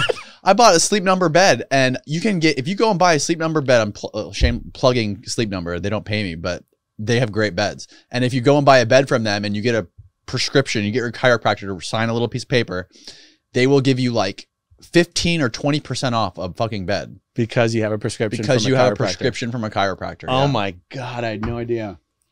which is the reason I fucking went to a chiropractor in the first place. Well, I had my my back was kind of fucked up, so I wanted to get a new mattress. So I tried all the new mattresses, and then I went to the chiropractor, and he was he, he's the one who told me about this. You know, I can sign this if you get a fucking sleep number. I don't know if he was being a shill for sleep number, but he's like, if you get a sleep number, they're the best. That's what I use. It was probably just a And I discount code. It was probably just a promo discount code. Use promo code Doctor whatever. Oh my god. So here's the thing. My mom was married to a chiropractor. I always feel better after getting an adjustment. I can't tell you it ever did anything for me long term and never made my headaches go away. You know what does make my headaches go away? Advil. Yeah, that shit's terrible for you too. I know, I know, I know. But look, I followed up my joke about chiropractic with what I thought was a perfectly fair statement. I said, What's wrong with Dr. Berg being a chiropractor is not that he's a chiropractor, it's that his viewers think he's a medical doctor. That's the fairest statement in the world. I've been taking shit in the comments all week because of it. And that's not, Well, that's not his fault. no, I know, but I'm saying he's like, there's a lot of people that watch my channel who like what I do, Mm-hmm. but they're chiropractors. I'm like, well, did I have to make a joke about chiropractors? No. Did I do it anyway? Yes. Look, look, you asked you asked a fair question. How are you going to concern yourself about pissing people off on the internet? Mm. You're right. I shouldn't, but there are certain creators who have created from the beginning with that approach, and therefore they're they don't lose anything by continuing with that approach. I simply have not taken that approach. And I've actually been very uh, candid in my videos where I say, hey, look, I don't make any political comments one way or the other because I know that's not what you came for me for. And whenever I say that in a video, it goes, it's uh, are a lot of comments. That's one of the things I love about your channel. You don't take pot shots. Because how many people are there? Um, how many people are there? There's so there's such great creators out there who I love what they do. I love what they do. I love what they do. And then they'll make some fucking joke, and you're like, that that that realize it's insulting some something you are and believe. And Like what, what, for example? well, uh, um, uh, I will see. I don't want to give any examples that are political in nature. not even on this show. well, Come on, man. my audience will be watching. Um, okay, let me think of an example. Uh, uh, So uh. you're saying okay, okay, here, Okay, here's an example. Because it's not even a personal one. The late night shows have all gone to hell because they are all left wing shills now. yes, They're not com- they're not comedians anymore. right. Why do we watch the late night shows? Entertainment and comedy. Well, now they've gone political and the shows fucking suck. Mm-hmm. I can't. Colbert is unwatchable. Jimmy Kimmel's unwatchable. I mean, the only reason Fallon was watchable for a while is because he stays away from politics. I'm sort of talking about the same thing. Mm. People didn't come like if I make a joke about the right or the left, people are gonna go, "Oh, well, that's not." Oh, can you make fun of both, of them at the same time? Um, you you'd think that you could. You'd think that you could. And, and the truth is, They maybe, both maybe I it. could. Because honestly, what I'm talking about is really just something that that exists in my own head. It's not like I've it's not like I've tried this and and it failed and that's why I don't do it anymore. I've decided you know what it is? It's the fact that I have friends on both ends of the political spectrum. Mm. And I know how virulently they hate the other end of the spectrum. Oh no. And that's real that's real life. Right. So you have to know. You just I just extrapolate it out, and I'm like, you know what? My audience is probably the same way. Mm-hmm. And and if I think- start and you if I start making jokes, eventually I'm gonna pick my lane and I'm gonna stick in. it. And well, but now but now I'm doing the same thing the late night shows did. I'm doing what I originally did, but now I'm being political. Look, I would love to have a, a, a Yeah, but it's so relevant to what your life story is and to what your purpose is. Is the human human psyche when it comes to cult and manipulation and being uh, gullible and manipulatable, and it's so relevant to fucking our country and the political divide in our country. People are stuck in these mindsets. It's so relevant to you. if uh, one of when I figure out how to talk about these things on my channel in a way that I'm comfortable with, um, I will have solved a major problem for myself because I love talking about politics. I love talking about it. I even I have more fun even talking to people I don't agree with. It's not fun to talk to people you agree with. That's boring as shit. Yes. Um, Find the holes in like- your own way of thinking. but I already, I already tried to I tried to break out of my uh my niche this week and I tried to interview someone about Freemasonry. Jesus Christ, that went down the tubes. Really? yeah. Well, first of all, I didn't know Who that women interview? Um to uh they're called the Gala sisters. They're really two hilarious sisters. They have a small YouTube channel called the Gala. Are they around here? No, no. Um, they're Minnesota. Okay, so you did like a Skype thing. Yeah. Okay. Yeah, and um, well, so I didn't even know that a woman can't be a Freemason until we started the interview. Because oh, they interviewed me about Scientology on their channel, and they were like, "Hey, if you want to talk about Freemasonry," I'm like, "Fuck yeah, I want to talk about Freemasonry." Like, I don't know anything about it. It, it sort of seems culty to me. Mm-hmm. so we start the interview, and then uh, they basically like, "Yeah, well, a woman can't be a Freemason," and immediately I'm like, "What are we going to talk about then?" Right. So there's sister organizations or whatever for women. But the problem is I kept asking them about I almost I didn't realize that not only could they not be Freemasons, but because they weren't, they actually weren't qualified to answer the questions I was asking. Mm-hmm. But I didn't realize that and I just kept asking the same questions, hoping they were going to eventually answer them. and then I was looking at the chat and they're like he, he's interviewing non-Freemasons about Freemasonry. Like, this is ridiculous. and then I got emails from a bunch of Freemasons and the, you know, the third degrees and the 32nd degrees and the 33rd degrees. And so now I got a bunch of people that I can interview. Um, but it was just interesting because it was the first time I ever specifically did anything on my channel that was non-Scientology and it just Mhm. went right down the tubes. Really? yeah, that's gonna happen. I It's mean, people I people want you to keep people want to keep you in your own lane. You know, even if you even if you're personally interested. That's the thing that that always puzzles me with people on YouTube is that they will just do whatever the commenters dictate to them. Like, please do this, please don't do that. Like a lot of people will only do what the comments want them to do. Which I mean, you know, maybe there's nothing wrong with that. Maybe that's what fuels you. Maybe that's what gives you your gives you happiness or whatever the reason is you're doing all this stuff. But some people just do it to make their audience happy, and some people just do it because they really enjoy doing doing it and putting out putting it out there for people to see and they they feel like they're educating other people on things that they know or that they're passionate about or making fucking documentaries that they think are cool like fucking like um going clear is a perfect example of it like that guy's created so many fucking riveting documentaries So many. across so many different subject that have nothing to do with each that other. have nothing to do with each other. And Yeah. that's what makes that guy so enter- entertaining to me. If you know, if he if he only stuck to Scientology, how fucking boring would it would it yeah. get? Alex Gibney. Alex, Alex Gibney. Gibney. Yeah, fucking amazing. So when you started this podcast, what was like the creative thrust? Was it I want to talk about a subject or I just I want to talk to anyone? No, when I started this podcast, so I did. I started out in like the the film industry. So I started out like working on television shows and working on movies. I actually was one of the camera operators on Dolphin Tale in Clearwater. Oh, is that right? Yeah. Oh yeah. And uh, so I started out in that big industry, and then I started to get sick of it. It was everyone was like a carny. They were all carnies with dental plans, basically, and I didn't want to live that way. So I started shooting and producing like my own documentaries and TV pilots and pitching them to TV networks, and eventually got sick of that. Transitioned into shooting my own little stuff, my own little like mini documentaries, and putting them on YouTube and eventually transition from that into doing the podcast. And the way I treat the podcast is just I treat them as like weekly documentaries minus the B roll and the music. So minus all the editing and the B roll and the music, just like I treat these as just their own little weird documentaries. Like originally, I just started talking to people that were into weird subcultures or weird industries or you know I, I made a documentary about a couple fishermen on madeira beach these guys that were uh they were deckhands on grouper boats Mm. like long line boats that would go out i don't know if you're familiar but madeira beach is like the capital of the world when it comes to the amount of grouper caught Really? more grouper comes into uh, john's pass than anywhere in the world I just know every restaurant in this entire county has grouper sandwiches. Yep.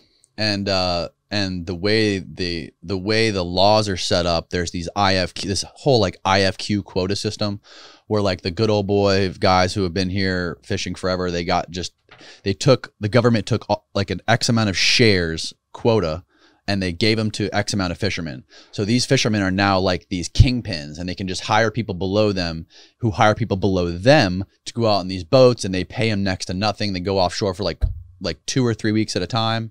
And these guys are essentially just drug addicts. They just find drug addicts like they're living behind 7 Eleven. They say, go on the boat, go catch some fish. They come back and they just buy fucking heroin and they run out of heroin and they're desperate for work, so they go back to the docks and they're like, "Please let me go out fishing again." And they let them do that, and they manipulate shit. the whole fishing industry. That. So these OG grouper, they, they, they basically have grandfathered in their share of the grouper yes, quotas. exactly.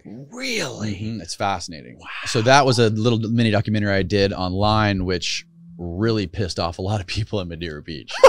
and that was kind of like one of the original things that like set off my YouTube channel. And then it just like the whole podcasting wave started happening, and I was interested in it. I wanted to, I wanted to try it. I'd always been behind the camera, like talking to people and interviewing people and filming B roll and shit, making cool looking videos with music. So I wanted to try out this, you know, actually talking to people and trying to make it interesting with just no editing, just two cameras back and forth, and that's how it started. I don't have any See, niche. I, There's can no niche. approaching it from a documentary. Well, look at Alex Gibney. You could almost go like he doesn't Right. have a niche. It's literally what's what's a great story. Mhm. So I can see how the documentarian thing would um sort of naturally progress into well, you know, Yeah, it's cool. it. It's me from it's like a it's just like a personal gr- like it's like my own little personal growth thing. I'm getting better at communicating with people, learning more about these crazy subjects. Like you know, next week I'll have a guy here that studies fucking ancient pyramids and how the Giza pyramids were a power plant for ancient civilizations. Like there's no subject that's off limits. you, you have amazing guests. I appreciate that, man. How did you get Andrew Bustamante?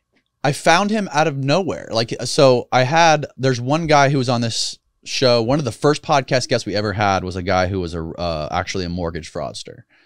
And, uh, his, he was writing a book when he, when, when he was in prison, he was writing books for a bunch of the people that he met that commit all of these crazy white collar cr- crimes, like con artists and stuff like that. He was writing a book based on a guy in Orlando who bought a fleet of fighter jets to take over the Congo. this is real. And one of the guys who was investigating him was a CIA guy. And he somehow got in contact with him on the internet and he met him for a drink in downtown St. Pete to talk about, to do an interview for his book. And this guy, Matt, who was the mortgage fraudster that I had on my podcast, he's like, Hey, there's this guy. He's like really interesting. He's a ex CIA guy. He lives in St. Pete. He might be cool for your show. And he was the first interview I ever did it was the first interview he ever did publicly was on this podcast. Next thing I know, Lex Fridman hits him up. He's been on Lex Fridman since then. He's been on. Andrew on. lives here in St. Pete. Yeah.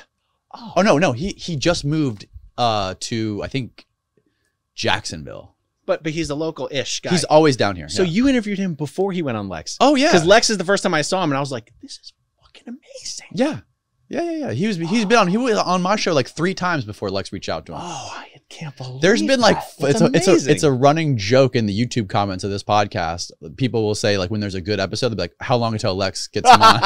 this is the minor leagues for Lex. There's been like four or five uh, guests I've had that had never been on podcast before that Lex reached out to immediately after. And Andrew's such high quality, not only in the stories that he has to tell, but his ability to tell them. Mm, yeah, he's super smart, super interesting guy. He's seen a lot of shit. I've never seen anybody from the intelligence community answer questions and conduct interviews as effectively um, as he does, and in a way that you cannot look away. You Mm-hmm. cannot stop listening.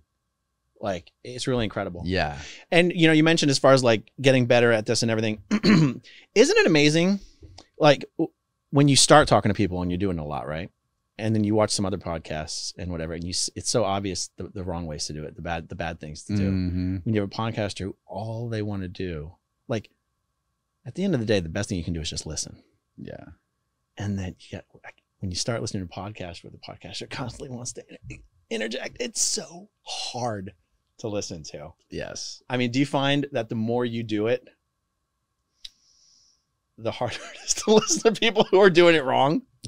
No, I don't. I mean, I don't really listen to a ton of podcasts, but I mean, I don't know. I don't think I do it that well. I'm not really that good at it. It's hard for me to criticize anybody. I don't. I don't often listen to podcasts. I think like, oh my god, this guy sucks. I could do way better than him. Most of the podcasts, whenever I do listen to them, I'm like, wow, I could take some notes from this guy. That's that's my experience. Well, I mean, but I watch a shitload of documentaries, so I that's Yeah. that's where I get my inspiration for podcasts mostly. I got to tell you, Lex Fridman is probably one of the guys I've, I've started watching more than anyone else because Oh yeah, he's like so the number. He's like the number two podcast for sure in the world. Like he is right there behind Joe Rogan. He is because, because he's on YouTube and Joe's not on YouTube. He's definitely like the number one on YouTube. I don't think there's any question about that. And his ability to get all those high level guests, is pretty pretty amazing. Yeah. And uh, his beautiful ASMR quality voice on his microphones. Do you think he'll get to uh, interview Vladimir Putin one of these days? Probably. I think he will. Um, dude, thank you so much for doing this. I really appreciate it. Oh, Where can people find out more about the organization, the foundation, and then uh, tell people how to find you on YouTube and all that stuff? Um, so the foundation is the aftermathfoundation.org. Uh, you can also find us on Facebook, just the Aftermath Foundation. Uh, the YouTube channel is Growing Up in Scientology. Aaron Smith Levin, AA Ron. It's my thing. And uh, yeah, that's pretty much it. Cool, man. I really appreciate it. I'll link everything below. Thanks again. It's been a lot of fun. Thanks. Later, everybody.